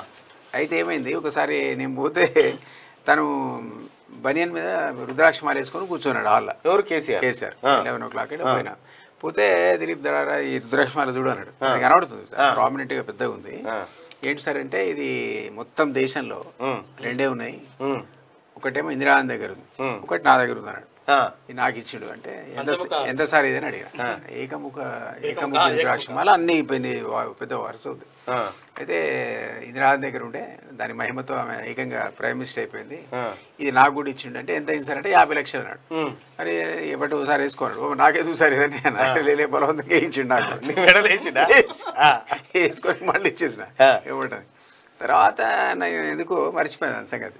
ఈయనతో విభేదించి టూ థౌజండ్ నైన్లో బయటకు వచ్చినాం. టూ థౌజండ్ ఫోర్టీన్ ఈయన ముఖ్యమంత్రి అయ్యిండు. అయినాక మన ప్రసాదే ఇంతకుముందు నేను చెప్పిన ఈటీవీ ప్రసాద్. సార్ సార్ ఒక్క నిమిషం ఈ స్వామీజీ మన సీఎం చంద్రశేఖర వారిని కలవాలట ఉపాయం చెప్పండి. మీరు గతంలో ఆయన పిఎస్కున్నారు అంటే ఏందట అని స్వామీజీని అడిగిన. ఆయన నేను ఛతర్పూర్ మందిర్ స్వామిని సార్. నేను కేసీఆర్కి ఒక ఫిఫ్టీ ల్యాక్స్కి ఒక రుద్రాక్షమాల అమ్మిన. నాకు టెన్ ల్యాక్స్ ఇచ్చి మిగిలింది ఇస్తా అని చెప్పి ఇప్పటికి ఈ నేళ్ళు అయింది నేను పోతే మెడ పట్టుకొని నూకేస్తున్నారు ఆడ ఇంటికాడ. ఇప్పుడు ముఖ్యమంత్రి అయ్యాడు. ఇప్పుడు ముఖ్యమంత్రి అయిండు ఇప్పుడు కూడా పోలీసులు లేరు. మీ ఉపాయం అని చెప్తే అంటే నేను అది గొడవ కేసుకున్నా మర్చిపోయింది. అదేనమాట రుద్రాక్షమే. పాపానికి అంటే స్వాములు అంటే భక్తి గౌరవం యజ్ఞాలు ఉన్నాయి కదా? చేస్తాడు కదా. మరి అట్లాంటి వాడు నువ్వు ఫిఫ్టీ ల్యాక్స్ మాడుకొని టెన్ ఇచ్చి ఫార్టీ కొడతావు రుద్రాక్ష. అందుకని రాసిన సరదాగా ఇంకా మంచి టాపిక్లు చూడు ఇక సరే పోదా పోదాం ముందుకి ఇంకా. రైట్గా విడాకుల్లో వారివే ఎక్కువ. పరస్పర అంగీకారం ఉంటే ఆరు నెలలు ఆగాల్సిందే. అక్కర్లేదు. వాటర్ తీసుకుని. ఆగాల్సి ఆగాల్సిన అక్కర్లేదు ఆర్టికల్ వన్ ఫార్టీ టూ కింద విస్తృత అధికారాలు ఉపయోగించుకోవచ్చు. ప్రేమ వివాహాలపై సుప్రీంకోర్టు కీలక వ్యాఖ్యలు చేసిందంటూ ఒక వార్తను చూస్తా ఉన్నాం. ఇక కేసీఆర్ కేసీఆర్ కుటుంబమే బాగుపడింది. తెలంగాణ పైసలు పంజాబ్కు ఉద్యోగాలు బీహార్కు మహారాష్ట్రకు. బీఆర్ఎస్ సర్కార్ తాగుడికే preference BJP state chief Bandi Sanjay అంటూ ఒక వార్త. ఇదైతే నిజమయ్యా. నేను చెప్తున్నా కేసీఆర్ మళ్ళోసారి ముఖ్యమంత్రి అయితే ఇంటింటికి గ్యాస్ కనెక్షన్ కాదు. ఇంటింటికి వైస్ వైన్స్ కనెక్షన్లు ఇస్తాడు. నల్ల నువ్వు నల్ల ఇలా తిప్పితే ఇంటికి వస్తుంది నల్ల ఈ ఇంటింటికి అప్పుడు మనకు రెండు వేల పద్దెనిమిది ఎన్నికల్లో ఇంటింటికి తాగునీళ్ళు ఇవ్వకపోతే ధైర్యం ఉండాలి మాట చెప్తాను కన్నాడు. తాగునీళ్ళు ఇవ్వకపోతే నేను వచ్చే ఎన్నికల్లో ఓట్లు అడగన్నాడు సరే ఆ ఏమి ఇచ్చిండో మీ అందరికి ఎరికే ఇక రెండో విషయం ఇయా ఈసారి కూడా చెప్తాడు. ఎందుకంటే తెలంగాణ రాష్ట్రంలో నిరుద్యోగుల కంటే వీళ్ళు ఎక్కువ అయిపోయారు పేరు వారుణ వాహిని ఆ? వారుణ వాహిని పేరు వర్ణవాహిని వారుణ వాహిని అన్నదానికి లిక్కర్కి ఆ. ఆ స్కీమ్ ఉండే ఒకటి ఇప్పుడు అది పెడతలేము పెట్టి ఇంటింటికి మద్యం సరఫరా చేయకపోతే నన్ను ఒకటి అడగద్దు. నన్ను ఓటాడు- నేను. నేను ఓటాడుగా అంటాడు ఏమో మనం. నిజంగా తెలంగాణ రాష్ట్రం మొత్తం తాగుబోతుల ప్రజలారా మీరు చూడండి ఒక మాట చెప్తా. కరుణానిధి జయంతి అయింది ఇగో ఒకసారి చూడరు దిలీప్ అన్న మీరు కూడా చూడాలి ఇది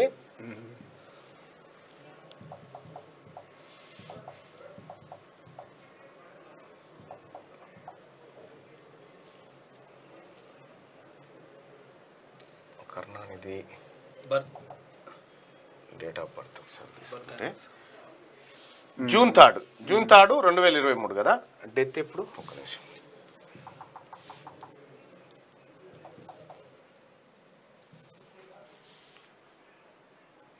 సెవెంత్ ఆగస్ట్ కదా? జూన్ థర్డ్ కరుణానిధి జయంతి సందర్భంగా స్టాలిన్ ప్రభుత్వం ఐదు వందల వైన్స్లు మూసేస్తుంది. ఐదు వందల వైన్ షాపులను మూసేస్తుంది.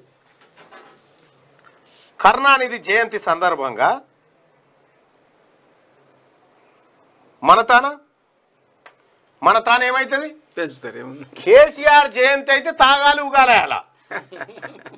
కరుణానిధి ప్రభుత్వం అదేది స్టాలిన్ ప్రభుత్వం గది చేస్తుంటే మన తానకిది ఇంకొకసారి గెలిస్తే చెప్తున్నా కదా హోమ్ డెలివరీ ఉంటది మద్యం బాటిల్. ఇంటింటికి మద్యం పంపిస్తా అని అంటాడు. మీరు చేయాల్సింది ఏం లేదు రెండు వేల పింఛన్ ఇస్తా ముసల్దాని బలగొట్టి ఎత్తుకొచ్చి తాగురికి అంతే. ఇప్పటికే మొబైల్ వ్యాన్లు తిరుగుతున్నాయి. తాగుడు ఆదాయం పోతుందట. ఈ- కథ తాగుడు ఆదాయం పోతుందని మంత్రి గారు తలడిల్లుతా ఉన్నాడు.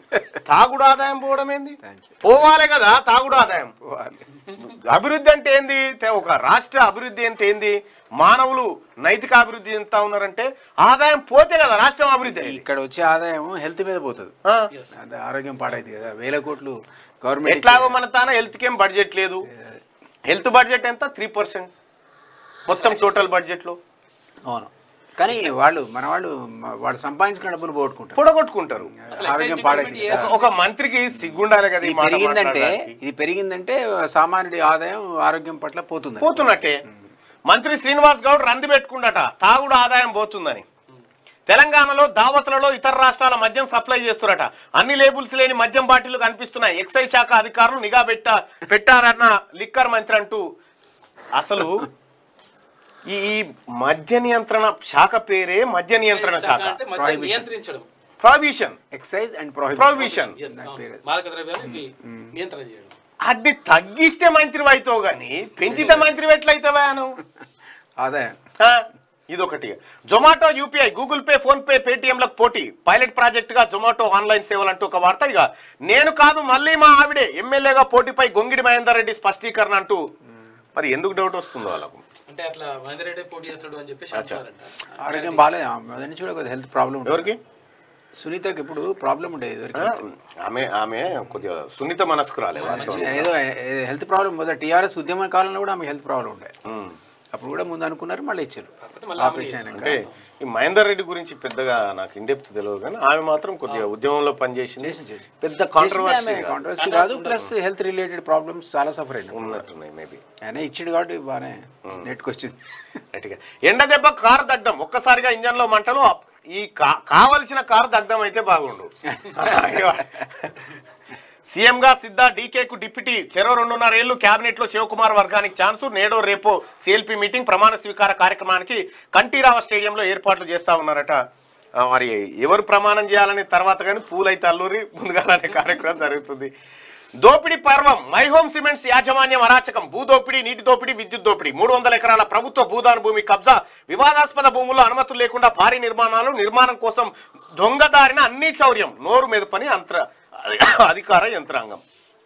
భూదాన భూములలో వేపలమాధారం విలేజ్ సర్వే నెంబర్ మూడు. ఇష్టం వచ్చిన దోపిడీ ఎంత దొరికితే అంత. ఇది శనార్థి తెలంగాణ. ఇక దిశా పత్రికలో ఉన్నటువంటి వార్తలు. ఎరువుల సబ్సిడీకి ఒకటి పాయింట్ సున్నా ఎనిమిది లక్షల కోట్లు. ఇప్పుడు నమస్తే తెలంగాణ ఈ వార్త వేస్తుందా అన్న? ఏ- పాజిటివ్ ఉన్నా నెగటివ్ కింద కన్వర్ట్ చేసేస్తారు. కన్వర్ట్ చేసేస్తారు. నిజానికి కేంద్ర ప్రభుత్వం దాన్ని కోట్ చేసినాక అంతకుముందు ఓపెన్ యూరియా ఇవన్నీ ఉంటుండే కదా అది బ్లాక్ మార్కెట్కి వెళ్ళిపోతుండే. కోటింగ్ చేసింది పనికిరాదు ఎక్కడ కూడా. కాబట్టి సేవ్ అయింది. అసలు ఎక్కడ మిస్యూజ్ కాకుండా రైట్ రాయల్ పద్ధతిలో రైతులకు అందే పరిస్థితి వచ్చింది గమ్మత్ విషయం ఏంటంటే అన్నదాతపై ఎరువుల బరువు అన్నావు. ఈ బరువు తగ్గిస్తాను రెండు వేల పదిహేడులో చెప్పినావు కదా. ఇరవై ఆరు లక్షల టన్నుల ఎరువులు ఏవైతే ఉన్నాయో వంద వంద శాతం ఫ్రీ అన్నావు. అవును. ఏవి మరి అదే కేంద్రం ఇచ్చింది కేంద్రం ఇచ్చింది నేరుగా చేరుతుంది కేంద్రం ఇచ్చిందే. చేరుతుంది రాష్ట్రం ఇచ్చింది ఏ కాని ఉండదు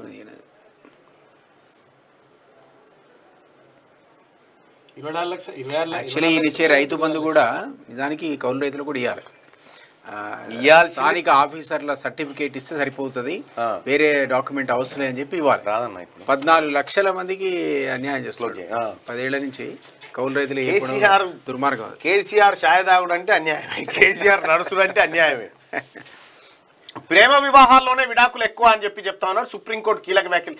మన తాన ఒక పెళ్ళి వివాహం అనేటువంటి టాపిక్ వస్తే దానికి ఒక పెద్ద చర్చ ఇరు వర్గాల బైఠాయింపు చర్చలు తర్వాత ఇవన్నీ ఉంటాయి. నీకు ఫారిన్లో పెళ్ళి ఈజీగానే ఉంటది. డాడీ. డాడీ ఈవినింగ్ మ్యారేజ్ ఉంది అట్లా వచ్చిపో అని చెప్పిపోతాడు కొడుకు. ఏ కూడలేదు బిడ్డ అంటే మొన్ననే విడాకులు అయిపోయినాయి కదా అని అంటాడు. ఇంత సింపుల్గా ఉంటాయి అన్నట్టు. అట్లా కాదు వాళ్ళ ఆరోగ్యం తల్లిదండ్రులు బాగాలేకపోతే. ఇప్పుడు బొకే పంపుతాడు గెట్ వెల్ సూన్ అని. కొడుకు. రాడు. హాస్పిటల్కి బొకే వస్తుంది గెట్ వెల్ సూన్ అని. ఎందుకంటే వాడికి సాటర్డే నాడే వీలవుతుంది. అప్పుడే వస్తాడు హాస్పిటల్ చూడడానికి. ఇక నూట ఐదు స్థానాలు మనమే అంటా ఉన్నాడు. ఒక్కసారి ఈ పోల్ పెట్టుకుందాం అని ఎందుకని మంచి నూట ఐదు స్థానాలు మనమే అని కేసీఆర్ చెప్తా ఉన్నాడు.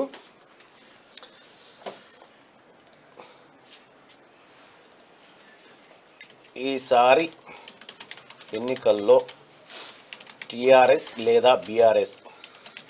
ఎన్ని స్థానాలు గెలుస్తుంది? మీరు ఓట్లు వేస్తారా అంటే విడిచిపోయా? ఆ, అది కూడా ఓకే.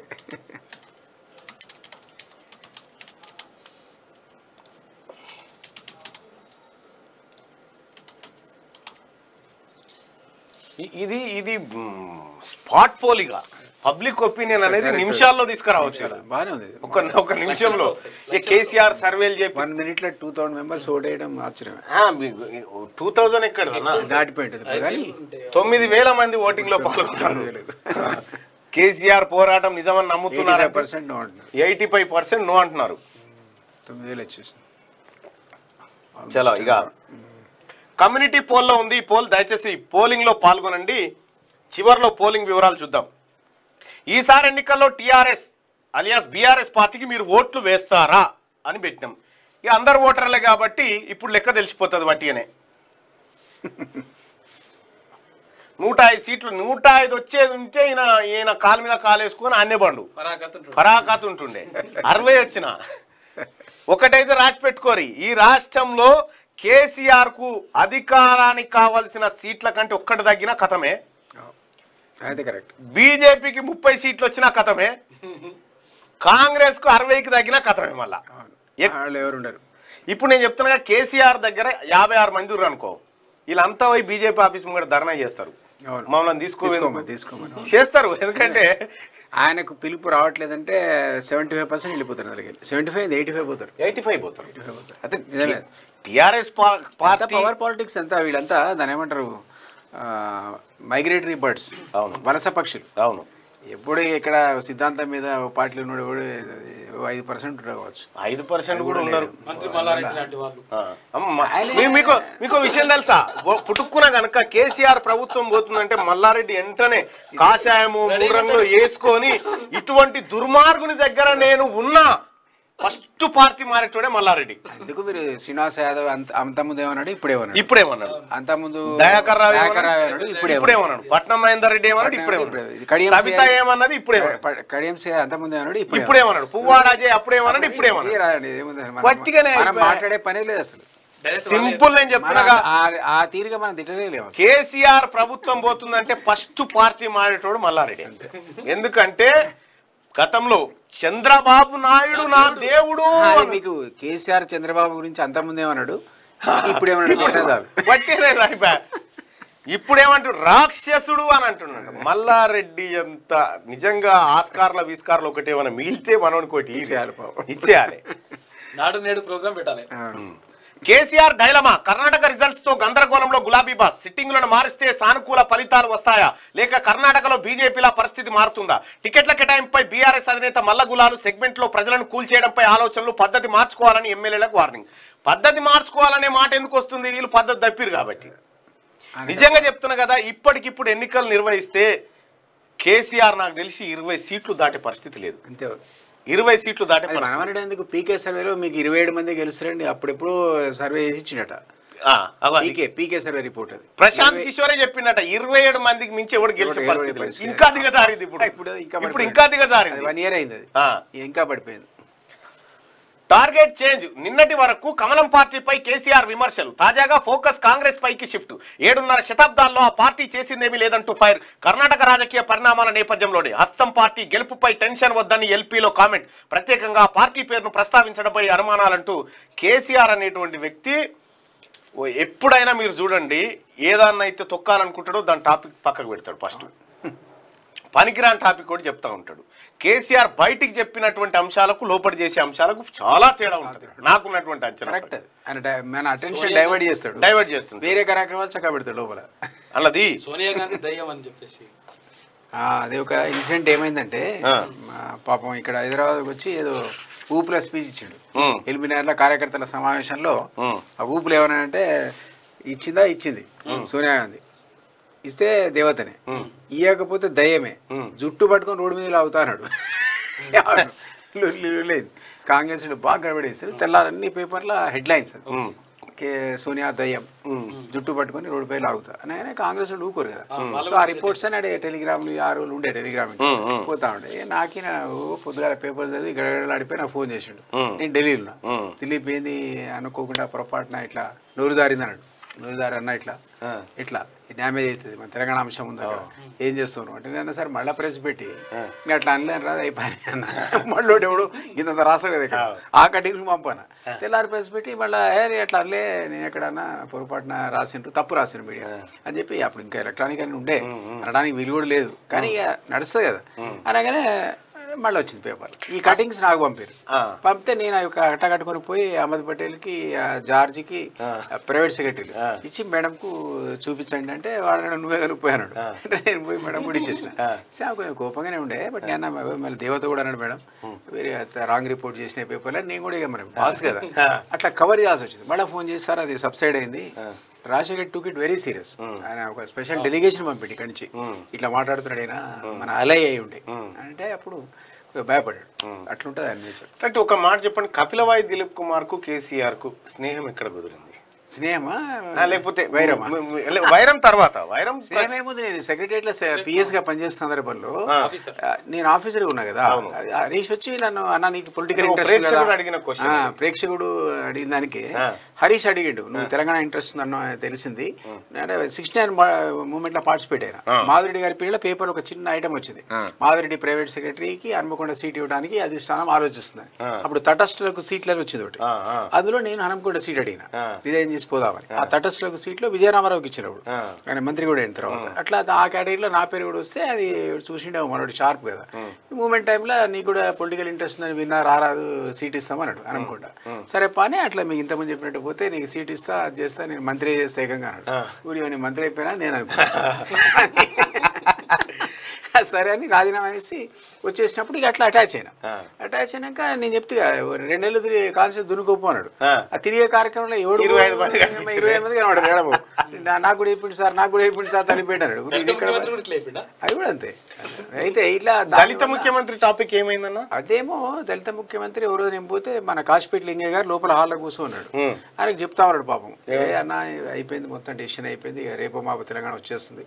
హండ్రెడ్ పర్సెంట్ మనదే గవర్నమెంట్. నువ్వే మా దళిత ముఖ్యమంత్రి మొదటి ముఖ్యమంత్రి మా కాశీపేట లింగయ్య చెప్తాడు? కూర్చోబెట్టి. ఆ లింగయ్య సాబ్ పాప ఇంటా ఉన్నాడు. నేను చూ- ఇన్న ఇన్న ఇక నేను బయటికి వెళ్ళిపోయాను. రాబోలేదు బయటికి పోయి పూలు కూడా మొదలు పెట్టిన విజయరావు చేసిన సార్ మీకు ఎప్పుడైనా దళిత ముఖ్యమంత్రి చేస్తానంటే అవునా చెప్పిండు ఎందుకు అడుగుతున్నాడు అంటే లోపల ఇంకొక ఆయన చెప్తున్నాడు. అందుకే అడుగుతున్నా. వికారాబాద్ చంద్రశేఖర్ని అడిగిన. అవునవును నాకు కూడా చెప్పిండు ఎందుకు అడుగుతున్నాడు అంటే లోపల నడుస్తుంది చర్చ పాపం ఇంకొక ఆయనకు ఆఫర్ ఇస్తున్నాడు. నీకు ఇచ్చిండా లేదని అడుగుతున్నా. అంటే ఏ నాకు ఉత్త కాదు ఆ ఫ్యామిలీ అంతా పిలిచి సంతోష్ని మిసెస్ని ఆందని పిలిచి "ఇగో నాకేమైనా హెల్త్ బాగాలేక పొరపాటున ఏమైనా జరిగితే మీరందరూ జ్ఞాపకం పెట్టాలి తెలంగాణ వస్తే ఇగో ఈయనే మా ముఖ్యమంత్రి ఆడ ముందు కూడా చెప్పిండట. అట్లా అంతా చెప్పిండు. చాలా సిన్సియర్ చెప్పిండని పాప మనోడు సిన్సియర్ చెప్పిండు నాకు. ఇట్లా మా పార్టీలో అందరికీ ఫోన్ చేసిన. అందరూ చెప్పాడు నువ్వే దళిత ముఖ్యమంత్రి. మా. ఇరవై ఐదు మంది ఎమ్మెల్యేలు లెక్క. సో అట్లా దళిత ముఖ్యమంత్రి కథ అది. రైట్ ఇక పెండింగ్ బిల్లులపై డిస్కషన్. పోడు భూములు గృహలక్ష్మి పైన అసెంబ్లీ ప్రత్యేక సెషన్ తేదీలపైన నిర్ణయం తీసుకునే ఛాన్స్ నేడు కొత్త సచివాలయంలో ఫస్ట్ టైం కేబినెట్ సమావేశం అంటూ ఒక వార్త. మరో మూడు రోజులు ఎండలు ఉంటాయని దిశలో చూస్తా ఉన్నాం. చిక్కువీడని పీఠముడి ఆరుగురి దుర్మరణం అంటూ మిగతా వార్తలు కంటిన్యూషన్ అయితే ఇంకా మిగతా పత్రికల కంటే ఇందులో ఏముందంటే సీఎం డైరెక్షన్లోనే దశాబ్ది ఉత్సవాల కోసం డాక్యుమెంటరీల రూపకల్పన. అన్ని తానే వ్యవహరిస్తున్న కేసీఆర్ అధికారుల క్లాసులు పలు డిపార్ట్మెంట్ల థీమ్స్పై నేను ఒక మాట ఏమంటా అంటేనా? ఇప్పుడు అన్ని తానే వ్యవహరిస్తా ఉన్నాడు. అధికారులకు కూడా ఈయననే క్లాసులు. మరి ఈయనకు సలహాదారులు ఎందుకు ఇంకా? ఆయన ఎవరు విన్నాడు సార్. ఆ? సలహాలు ఎవరు వింటాడు? ఎవరు ఇది ఈయన తొమ్మిది మంది. ఢిల్లీలో ఒకసారి ఈయన సలహాదారులు కలిసి ఇద్దరు. సహాని అని మరి లేబర్ సెక్రటరీ ఉండే. అచ్చా. మీరు విని కూడా ఉండరు. ఆయన తెలంగాణ గవర్నమెంట్కి ప్రభుత్వ సలహాదారుగా క్యాబినెట్ స్టేటస్తో ఢిల్లీలో ఉండే ఐదేళ్ళు. అచ్చా. ఇప్పుడు విన్నారా? పేరు మీరు సహాని. మా లేబర్ సెక్రటరీ ఉండే ఆ. ఫుల్ క్యాబినెట్ స్టేటస్తో ఎంజాయ్ చేసి ఐదేళ్ళు వెళ్ళిపోయాడు. మంచోడు. Honest man. అయితే నేను అడిగిన సార్ మరి సలహాదారు కదా ఏం సలహా ఇచ్చిన ఆయన అడిగితే నేను చెప్పడానికి అన్నాడు ఫైవ్ ఇయర్స్ ఆయన అడిగింది లేదట నేను చెప్పింది లేదట మన డబ్బులు మాత్రం పోయినాయి. మన. కార్లు మన పిఏలు మన పిఎస్ డబ్బులు జీతాలు అట్లా ఐదుగురు ఉండిరి సలహాదారు ఐదుగురు ఉండిరి ఐదుగురిని ఎన్నడూ ఈయన అడిగింది లేదు వాళ్ళు చెప్పింది లేదు ఊరికే ఒక రోజు ప్రధాన. ఒక రోజు ప్రధానమంత్రి ప్రధానమంత్రి మన్మోహన్ సింగ్ గారు కేసీఆర్ ఫోన్ కాల్ చేస్తే. ఆయన ఏమైంది సుబ్రహ్మణ్యం గారు ఫోన్ చేసిండు రాత్రి. అంటే ప్రైవేట్ సెక్రటరీ ప్రైమ్ మినిస్టర్. ఆయన ఏమన్నాడు అప్పుడు నైన్ థర్టీ టెన్ అవుతుంది. ఈ దిలీప్ ఇదేంది మీ పిఎన్ ప్రైమ్ మినిస్టర్ మాట్లాడు లేబర్ మినిస్టర్ కలపంటే వాడు కలపనంటాడు ఏంది అన్నాడు. అంటే కలపకూడదు సార్ నీకు అనుకొని చెప్తా అని ఫోన్ చేసిన మావాడికి ఏదైనా బాబు పిఎం మాడతా అంటే కలపడంటే సార్ టైం చూసుకోండి అన్నాడు. అంటే పది అయింది మీకు తెలుసు కదా సార్ పరిస్థితి. ఇప్పుడు మన్మోహన్ సింగ్ మాడితే నా పట్క ఎగిరిపోతుంది. అందుకే నేను కలపలేదు సార్ అన్నాడు. సర్లే నేను చూసుకుంటాను. మళ్ళీ సుబ్రహ్మణ్యం ఫోన్ చేసి ఏమనుకోవచ్చు సార్ నా ఆరోగ్యం బాగాలేక నిద్రపోయాడు. రేపు మార్నింగ్ నేను హాట్ లైన్ హాట్ లైన్ ఉంటుంది. డైరెక్ట్ ఎత్తితే పిఎంకే పోతుంది. నేను మాట్లాడిస్తా అంటే ఆయన అన్నాడు, దిలీప్ ఈ దేశ పరిస్థితుడు ప్రధానమంత్రి మాడతా అంటే లేబర్ మినిస్టర్ నిద్రపోతున్నాడు. అన్నాడు. అని పెట్టేసి. తెల్లారి నేను పోయి హాట్ లైన్లో పిఎంతో మాట్లాడించినది వేరే విషయం. తెల్లారంటే తెల్లారి ఎందుకు ఆ పది గంటలకు మాట్లాడించాలంటే ఎందుకు ఇబ్బంది పడుతుంది అది మీరు అర్థం చేసుకోవాలి.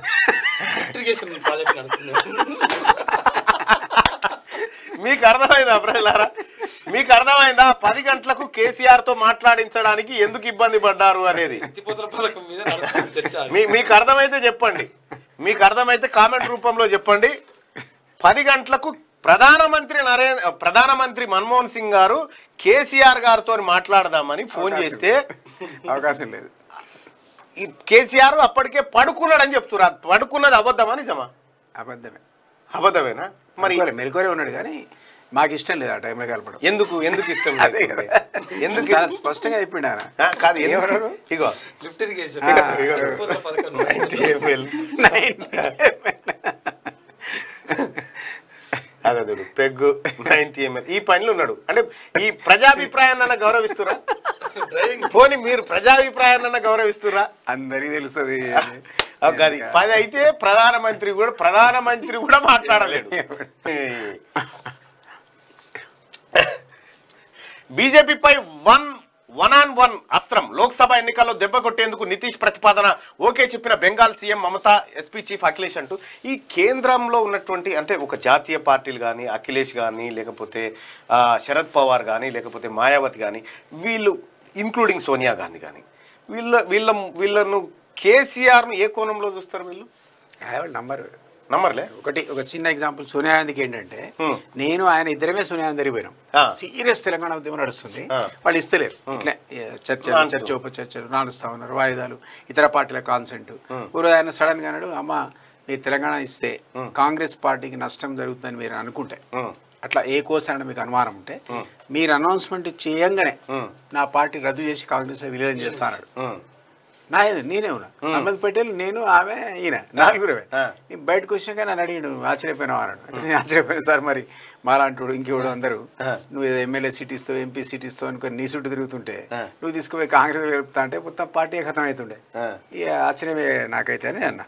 అసలు తెలంగాణ వచ్చినాక నువ్వు ఎమ్మెల్యే అయితే ఎవడికి కావాలి కాకపోతే ఎవడికి కావాలని అన్నాను. లాజిక్ చూడు. లాజికల్గా కరెక్టే ఆ. నీ పోరాటమే తెలంగాణ కోసం అయినప్పుడు ఓ, మళ్ళా ఎమ్మెల్యే అయితే కావాలి దిలీప్ కుమార్ ఎమ్మెల్సీ అయితే కావాలి? అందువల్ల అట్లా అన్న అంటాడు. ఆ లాజిక్ని మనం ఎట్లా నో అంటాం? కానీ ఎక్కడ తేడా అంటే అట్లా అన్నవాడు నేను దిగ్విజయ్ సింగ్ దగ్గర పోయినా. తర్వాత ఏదో విభేదించిన పోయినా. దిగ్విజయ్ సింగ్ ఇంకా నేను క్లోజ్ ఉంటా అనుకుంటాడు కదా సహజంగా దిలీప్ ఒకసారి కలపరాదు. తెలంగాణ ఇచ్చిన తర్వాత మీ వాడు ఎన్నిసార్లు ఫోన్ చేసినా దొరుకుతలేడు లైన్లోకి వస్తలేడు మాకు. నువ్వు ప్రయత్నం చేయాడు ఇంకా కాంటాక్ట్లో నేను చేస్తాను అనుకున్నాడే ఇంపాడు నేను మన హరీష్కి చేసిన. చేసి ఒకసారి దిగ్విజయ్ సింగ్ అలయన్సెస్ గురించి మాట్లాడతాడట. తెలంగాణ ప్రకటన అయిపోయింది. నువ్వైతే మెరి చేస్తానో అది వేరే విషయం మా ఇద్దరికి ఎరిక ఆయన కూడా ఎరికే దిగ్విజయ్ సింగ్ మెరి చేస్తానో విషయం. అది అడుగుతలేరు వాళ్ళు. అసలు అలయన్స్ అయినా పెట్టుకుందాం అని ప్రయత్నం పాపం. అంటే ఒకసారి లైన్ అంటే ఒక్క టూ మినిట్స్ టైం ఏంటి అన్న నేను సార్ దగ్గరే ఉన్నా పోయి మాట్లాడిస్తాను స్విచ్ ఆఫ్ పెట్టాడు. Phone switch off. Phone switch off. దొరకడు ఇట్లా మళ్ళీ పోయి మనోడికి చేసిన. ఎవరు? మన ఇతనికి. సంతోష్ ఇప్పుడు ఎంపీ. MP MP సంతోష్కి. అప్పుడు ఆ బాబు వెనకనే ఉంటాడు కదా. సంతోష్ కూడా ఎక్కడ అంటే ఇక్కడే ఉన్న అంకుల్ నేను. అంటే సరే మరి ఒకసారి కలుపు దిగ్విజయ్ సింగ్ మాట్లాడట అలయన్సెస్ గురించి మెజర్ కూడా కాదు. అంటే ఒక టూ మినిట్స్లో మాడిస్తాడు స్విచ్ ఆఫ్. ఇద్దరు దొరకలే నేను సరే ఈయన నాకైతే లైన్లో రాడు. ఇది అయ్యే పని కాదన్నాడు ఇదేందా? వీడు మొత్తం పార్టీ ఎంపరీ చేస్తాడు ఆ. కనీసం అలయన్స్ గురించి మాట్లాడదామంటే లైన్లో వస్తున్నాడు. అట్లా కాంగ్రెస్ని చీట్ చేసి. తనే ఈసారి ఎవరి అలయన్స్ లేకుండా పోటీకి వెళ్ళిపోయి మనకు తెలిసి ఎట్లా ఒక 63 అట్లా ఉంటుంది కేసీఆర్ తోని అందువల్ల నేను ఎందుకంటున్నా అంటే ఈ కారణం చేత ఇది అందరికీ తెలుసు జాతీయ నాయకులకు. ఉమ్, ఈయనతో ఈయన చెప్పేది ఒకటి చేసేది ఒకటి అని అందరికీ తెలుసు. ఇంకో చిన్న ఎగ్జాంపుల్ ఏంటంటే అంతకుముందు ఆయన లేబర్ మినిస్టర్ పార్టీ అధికారంలో ఇంకా బీజేపీ రాలే. రాజ్నాథ్ సింగ్ దగ్గర పోయినాం ఇంకా తెలంగాణకు బీజేపీ మద్దతు ప్రకటించాలి. అంత ప్రపోజల్ ఇచ్చాడు మీరు కనుక మద్ద- మద్దతు ఇస్తే రాబోయే రోజుల్లో లోకల్ బాడీ ఎలక్షన్స్లో మీకు ఎలక్షన్ మేము మద్దతు ఇస్తాం. లోకల్ బాడీలో అప్పుడు టీఆర్ఎస్ మంచి స్థానాలు వచ్చాయి టూ థౌసండ్ త్రీలో మీకు జ్ఞాపకం. సో బీజేపీకి అంత బలం అప్పుడు లేకుండా. సో మాతో పాటు మీకు అలయన్స్ ఉంటే తెలంగాణ మీకు అద్భుతంగా అంటే ఈ ప్రాంతాల్లో బాగా వస్తాయి సీట్లు అంటే రాజనాథ్ సింగ్ ఒప్పుకున్నాడు. మంచి ప్రపాదం మాకు కూడా కన్సాలిడేషన్ పనికి వస్తుంది మేము కూడా అసలు తెలంగాణ ఇవ్వాలనే నిర్ణయానికి కూడా వచ్చినాం అని మా ఎదురుగా అద్వానికి ఫోన్ చేశాడు. సార్ మీరు తెలంగాణకు మద్దతు ప్రకటించండి. ఆ. పార్టీ మనతో అలయన్స్ పెట్టుకుంటుందట. అంటే సరే అని పాపం ఆయన మహారాష్ట్ర నుంచి ఆంధ్రప్రదేశ్ మన తెలంగాణలో ఎంటర్ అయ్యేటప్పుడు అంటే ఆంధ్రప్రదేశ్లో. ఎంటర్ అయ్యి వంద రోజులు తెలంగాణ ఇచ్చేస్తాం అధికారులు వస్తాయని బీజేపీ అప్పుడే ప్రకటించింది. తర్వాత లోకల్ పార్టీ నోటిఫికేషన్ వచ్చింది. సేమ్ కథ. ఫార్టీ టైమ్స్ ఫోన్ చేస్తే ఫోన్ ఎవరు చెప్పిండ్రు? ఆ, రాజ్నాథ్ సింగ్ చెప్పిండు నెక్స్ట్ టైం పోయినప్పుడు. ఏమే అలయన్స్ నువ్వు కూడా అని. నలభై సార్లు ఫోన్ చేస్తే ఫోన్లో కూడా రాలేదు కూడా. ఇక బీజేపీ నమ్ముతుందా. కాంగ్రెస్ నమ్ముతుందా?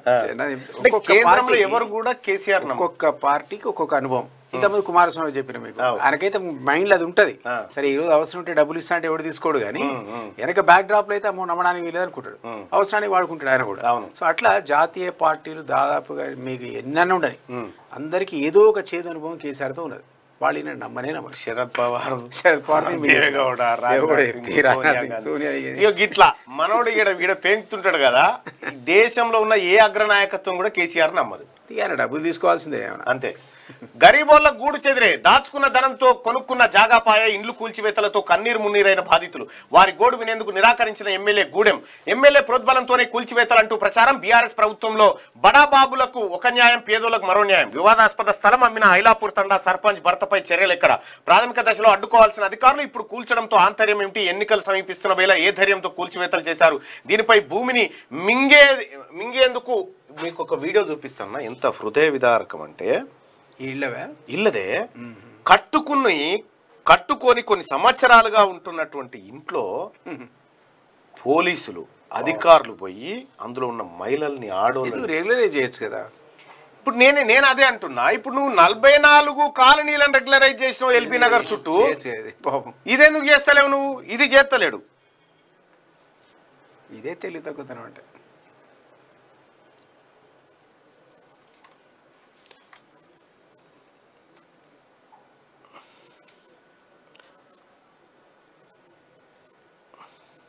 ఎంత ఘోరం అంటే అసలు ఇక ఇంతకు మించిన దరిద్రం ఇంకోటి ఉండదేమో బహుశా తెలంగాణ రాష్ట్రంలో.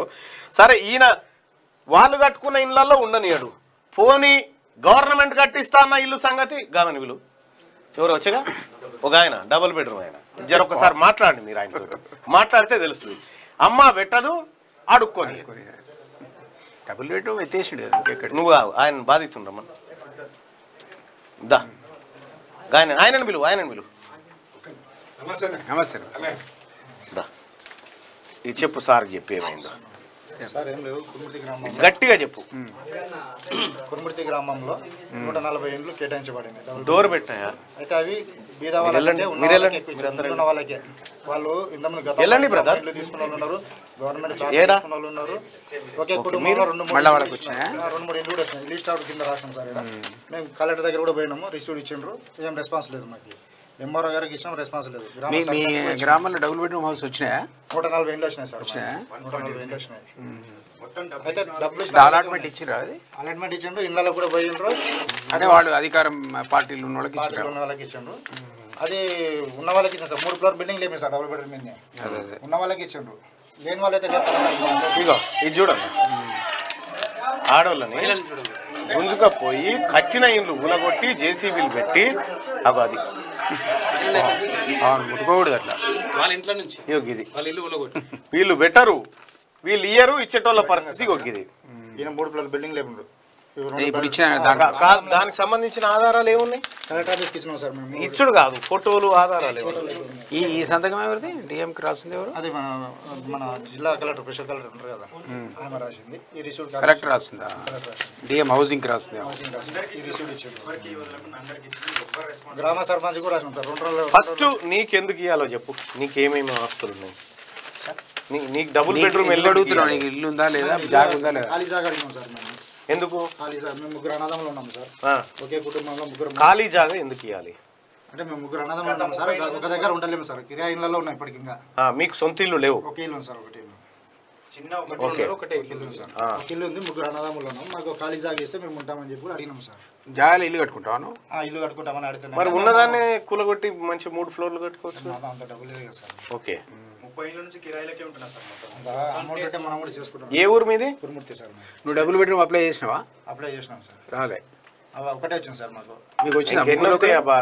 ఇంకా మూడు నాలుగు ఇచ్చినారు సార్ ఇప్పుడు వాళ్ళు. అంటే వాళ్ళకి మూడు నాలుగు కాబట్టి నాకు మూడు నాలుగు ముగ్గురికి వెళ్ళి బెడ్రూమ్ వచ్చిందా ఇప్పుడు? ఒకటే వచ్చింది సార్. ఒకటి వచ్చింది. ముగ్గురు అన్నదమ్ములకు ఒకటి వచ్చింది అది కాక ఒకటి గాను ఇంకా ఆ, మొత్తమే రాని వాళ్ళు ఉన్నారు ఇక్కడ. ఇంకా నువ్వు నయం. ఇంకో- ఇంకో ఇల్లు ఉందంటున్నావు కదా చిన్నదోటి ముగ్గురికి అదే కిరాయి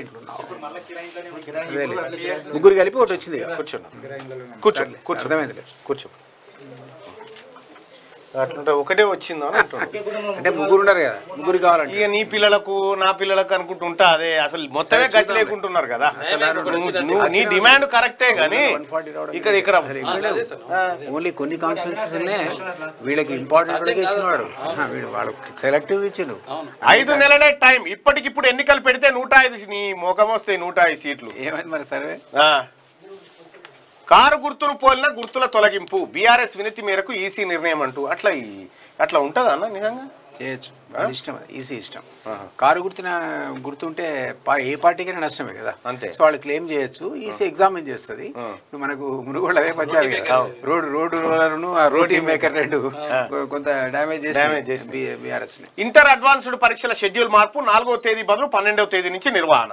ఇక అబ్రక దబ్బ దబ్రా ఎపిటోమ్ భూ హిప్నటిజం అంటూ ఒక వార్తను చూస్తా ఉన్నాం. ఈ చౌటుపల్లి దగ్గర ఎపిటోమ్కి సంబంధించిగా ప్రజలు మార్పును కోరుకుంటున్నారు. తెలంగాణ ప్రజా ప్రతినిధులపై తీవ్ర అసంతృప్తిలో ప్రజలు ఉన్నారని చెప్పి ఒక వార్త.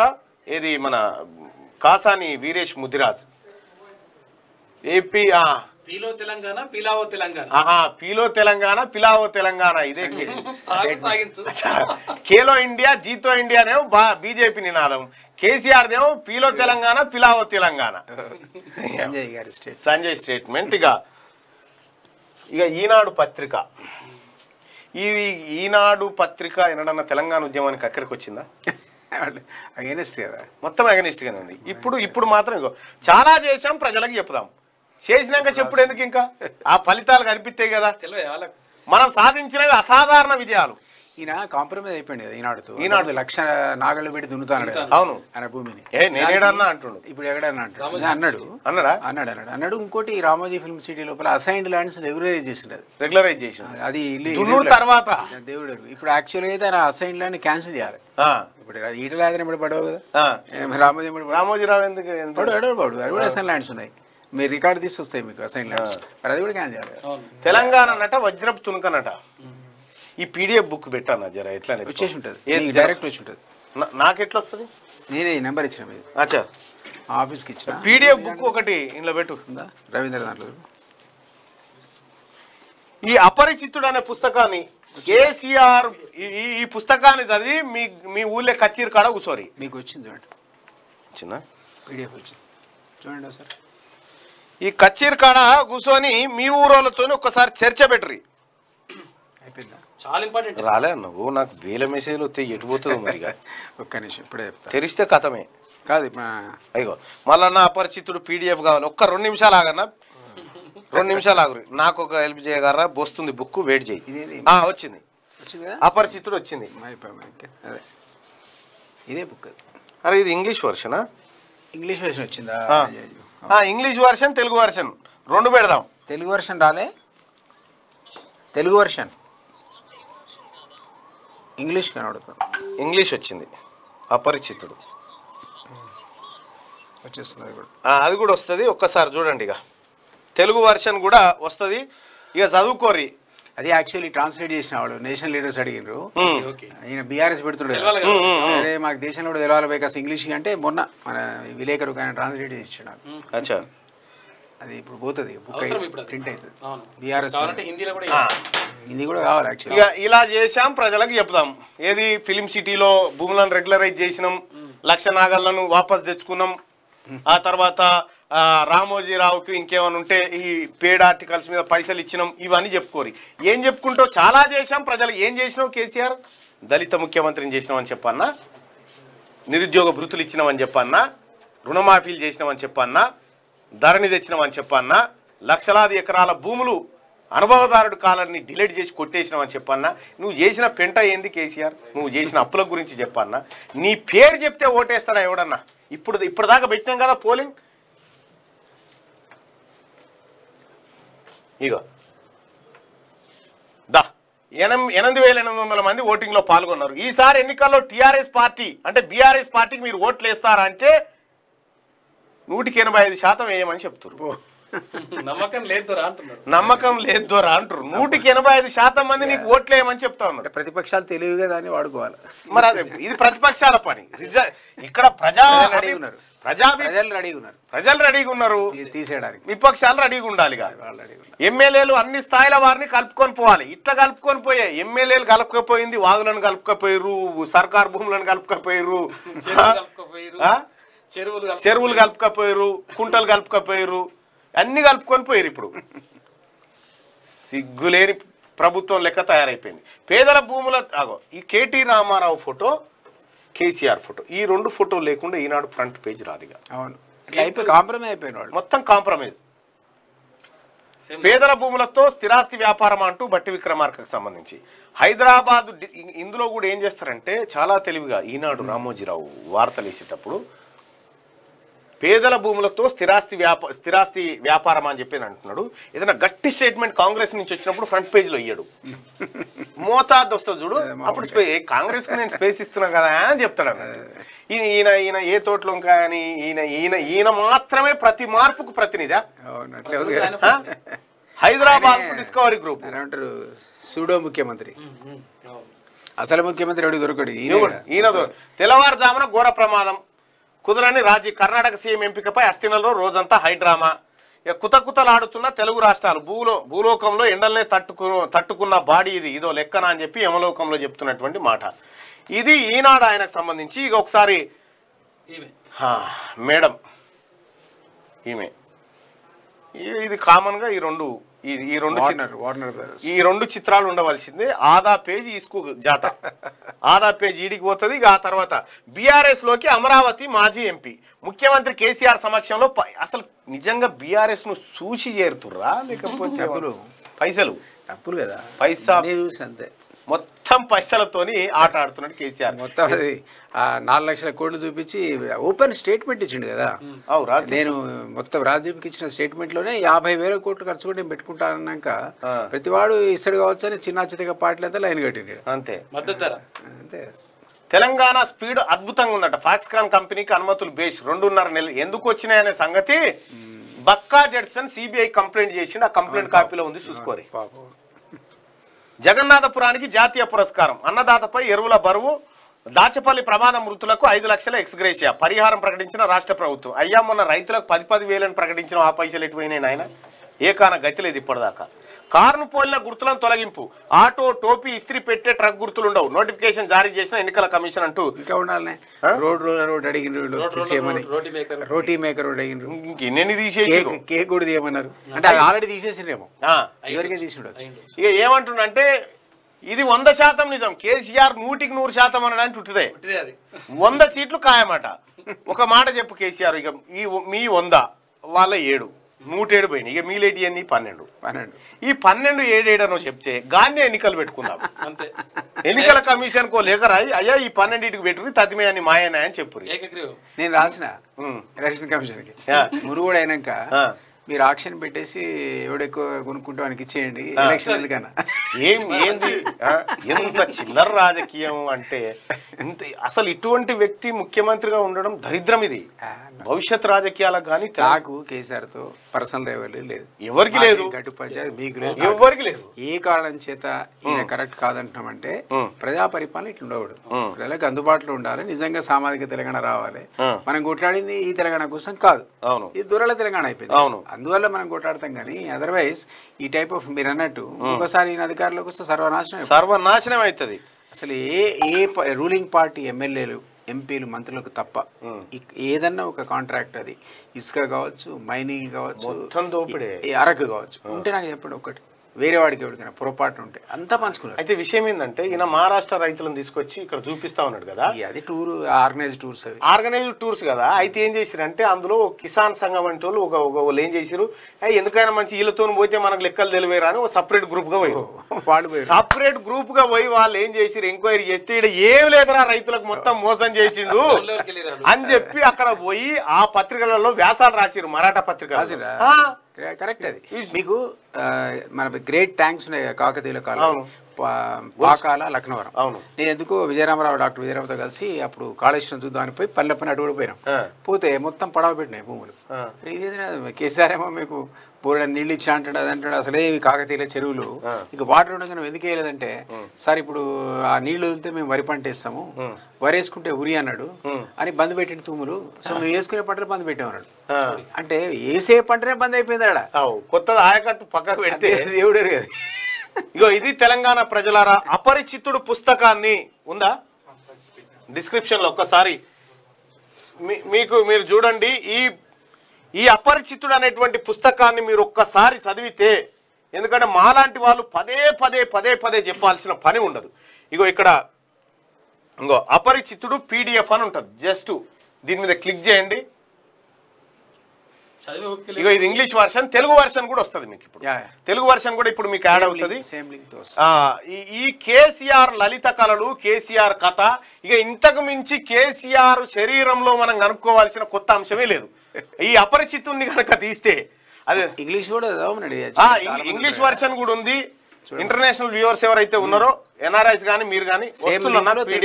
రాకేష్ బై ఒక దస్ మినిట్ ఆగండి అన్న వస్తుంది. తెలుగు పీడిఎఫ్ ఖచ్చితంగా వస్తుంది. మీరు చూడండి. ఇది చూసిన తర్వాత కేసీఆర్ ఏందో మొత్తం పిక్చర్ అంతా స్కానింగ్ అయి ఉంటది. తెలుగు వచ్చేసింది వచ్చేసింది. తెలుగు కూడా వచ్చేసింది. చదివే ఓపిక లేని వాళ్ళు వచ్చిందా? ఇంత ముందు సార్ తోటి రెడ్డి గారు. వచ్చిందా? తెలుగు? వచ్చిందా రెడ్డి గారు? వచ్చింది. వచ్చింది తెలుగు కూడా పెట్టేసి ఒకవేళ చదవడం లైవ్లో ఉన్నా అండి నేను. రైట్ ఇందులోనే తెలుగు కూడా పెట్టండి. దయచేసి. వచ్చేసింది. దయచేసి ప్రజలారా నేను చెప్పేది ఒక్కటే. దిలీప్ గారు కానీ మేము కానీ లేకపోతే ఇంకొకరు కానీ మేము పోరాటం చేస్తుంది మీ జీవితాలు బాగుపడడం కోసమే. ఈ సమాజం బాగుపడాలి. తెచ్చుకున్న తెలంగాణ వృధా కాకూడదు. ఈ చివరి దశలోనైనా తెలంగాణను ఎట్లా అంటే తెలంగాణ తల్లి ఉరేసి ట్యాంక్ బండ్ కడ కట్టిండు కేసీఆర్. ఆ తల్లిని విడిపించాల్సిన బాధ్యత మన మీదే ఉంది. కేసీఆర్ అనేటువంటి వ్యక్తి పరమ దుర్మార్గుడు. ఇంకొకసారి ఓటేస్తే మా మన శవాలను మన భుజం మీద వేసుకొని తిరగాల్సి వస్తుంది. థ్యాంక్ యూ సో మచ్ అన్న. మార్నింగ్ న్యూస్లో పాల్గొన్నందుకు. థ్యాంక్ యూ థ్యాంక్ యూ ఎందుకంటే ఒక అద్భుతమైనటువంటి పుస్తకాన్ని ప్రపంచానికి చాలా ఎందుకు ఎందుకంటే మిమ్మ మీరు కూడా ఏదో కావాలనుకుంటే మీకు అన్నీ వచ్చేటి. రమ్మని అడిగితే పోలేదు. అని అన్నీ వచ్చేటి. కానీ ఒక సత్యాన్ని ప్రజల దగ్గరికి తీసుకుపోవాలంటే ఇటువంటి ధైర్యం కూడా ఉండాలి. ఆ, ధైర్యం కూడా ఉండాలి. ఆ ధైర్యంలో భాగంగానే దిలీప్ అన్న ఇది రాసిండు. సో దిలీప్ అన్న ఇంకొకటి ఏంటంటే మంచి ఉద్యమకారుడు వ్యూహకర్త చాలా శాంతి ఆ, కాముకంగా ఉంటాడు. జేస ఏది మన కోదండరామ్ సార్కి మీరు క్లాస్మేటా? క్లాస్ క్లాస్ కోదండరామ్ సారు ఇంటర్మీడియట్లో రెండేళ్ళు డిగ్రీలో మూడేళ్ళు. వీళ్ళు క్లాస్మేట్స్. ఇంకా మనం రెగ్యులర్గా మనం అనుకునేటువంటి కార్యక్రమాలకి గెస్ట్ ఎట్లయితే వస్తా ఉన్నారో ఆ గెస్ట్లో భాగంగా మనందరం వాళ్ళందరినీ గౌరవించుకోవాలి. ఎందుకంటే అత్యంత అమూల్యమైనటువంటి విషయాలను మనం. చేరవేస్తున్నటువంటి. Thank you so much Dilip అన్న. నాకు అవకాశం ఇచ్చినందుకు మీకు ధన్యవాదాలు. అరే ప్రేక్షకులే. ప్రేక్షకులే థ్యాంక్ యూ చాలా. మేము- మేమిద్దరం సమ పిల్లలు కింద నాకు వేసిన రెండు. వేస్తారు. Right. The. Right. Right thank you so much చూస్తూనే ఉండండి.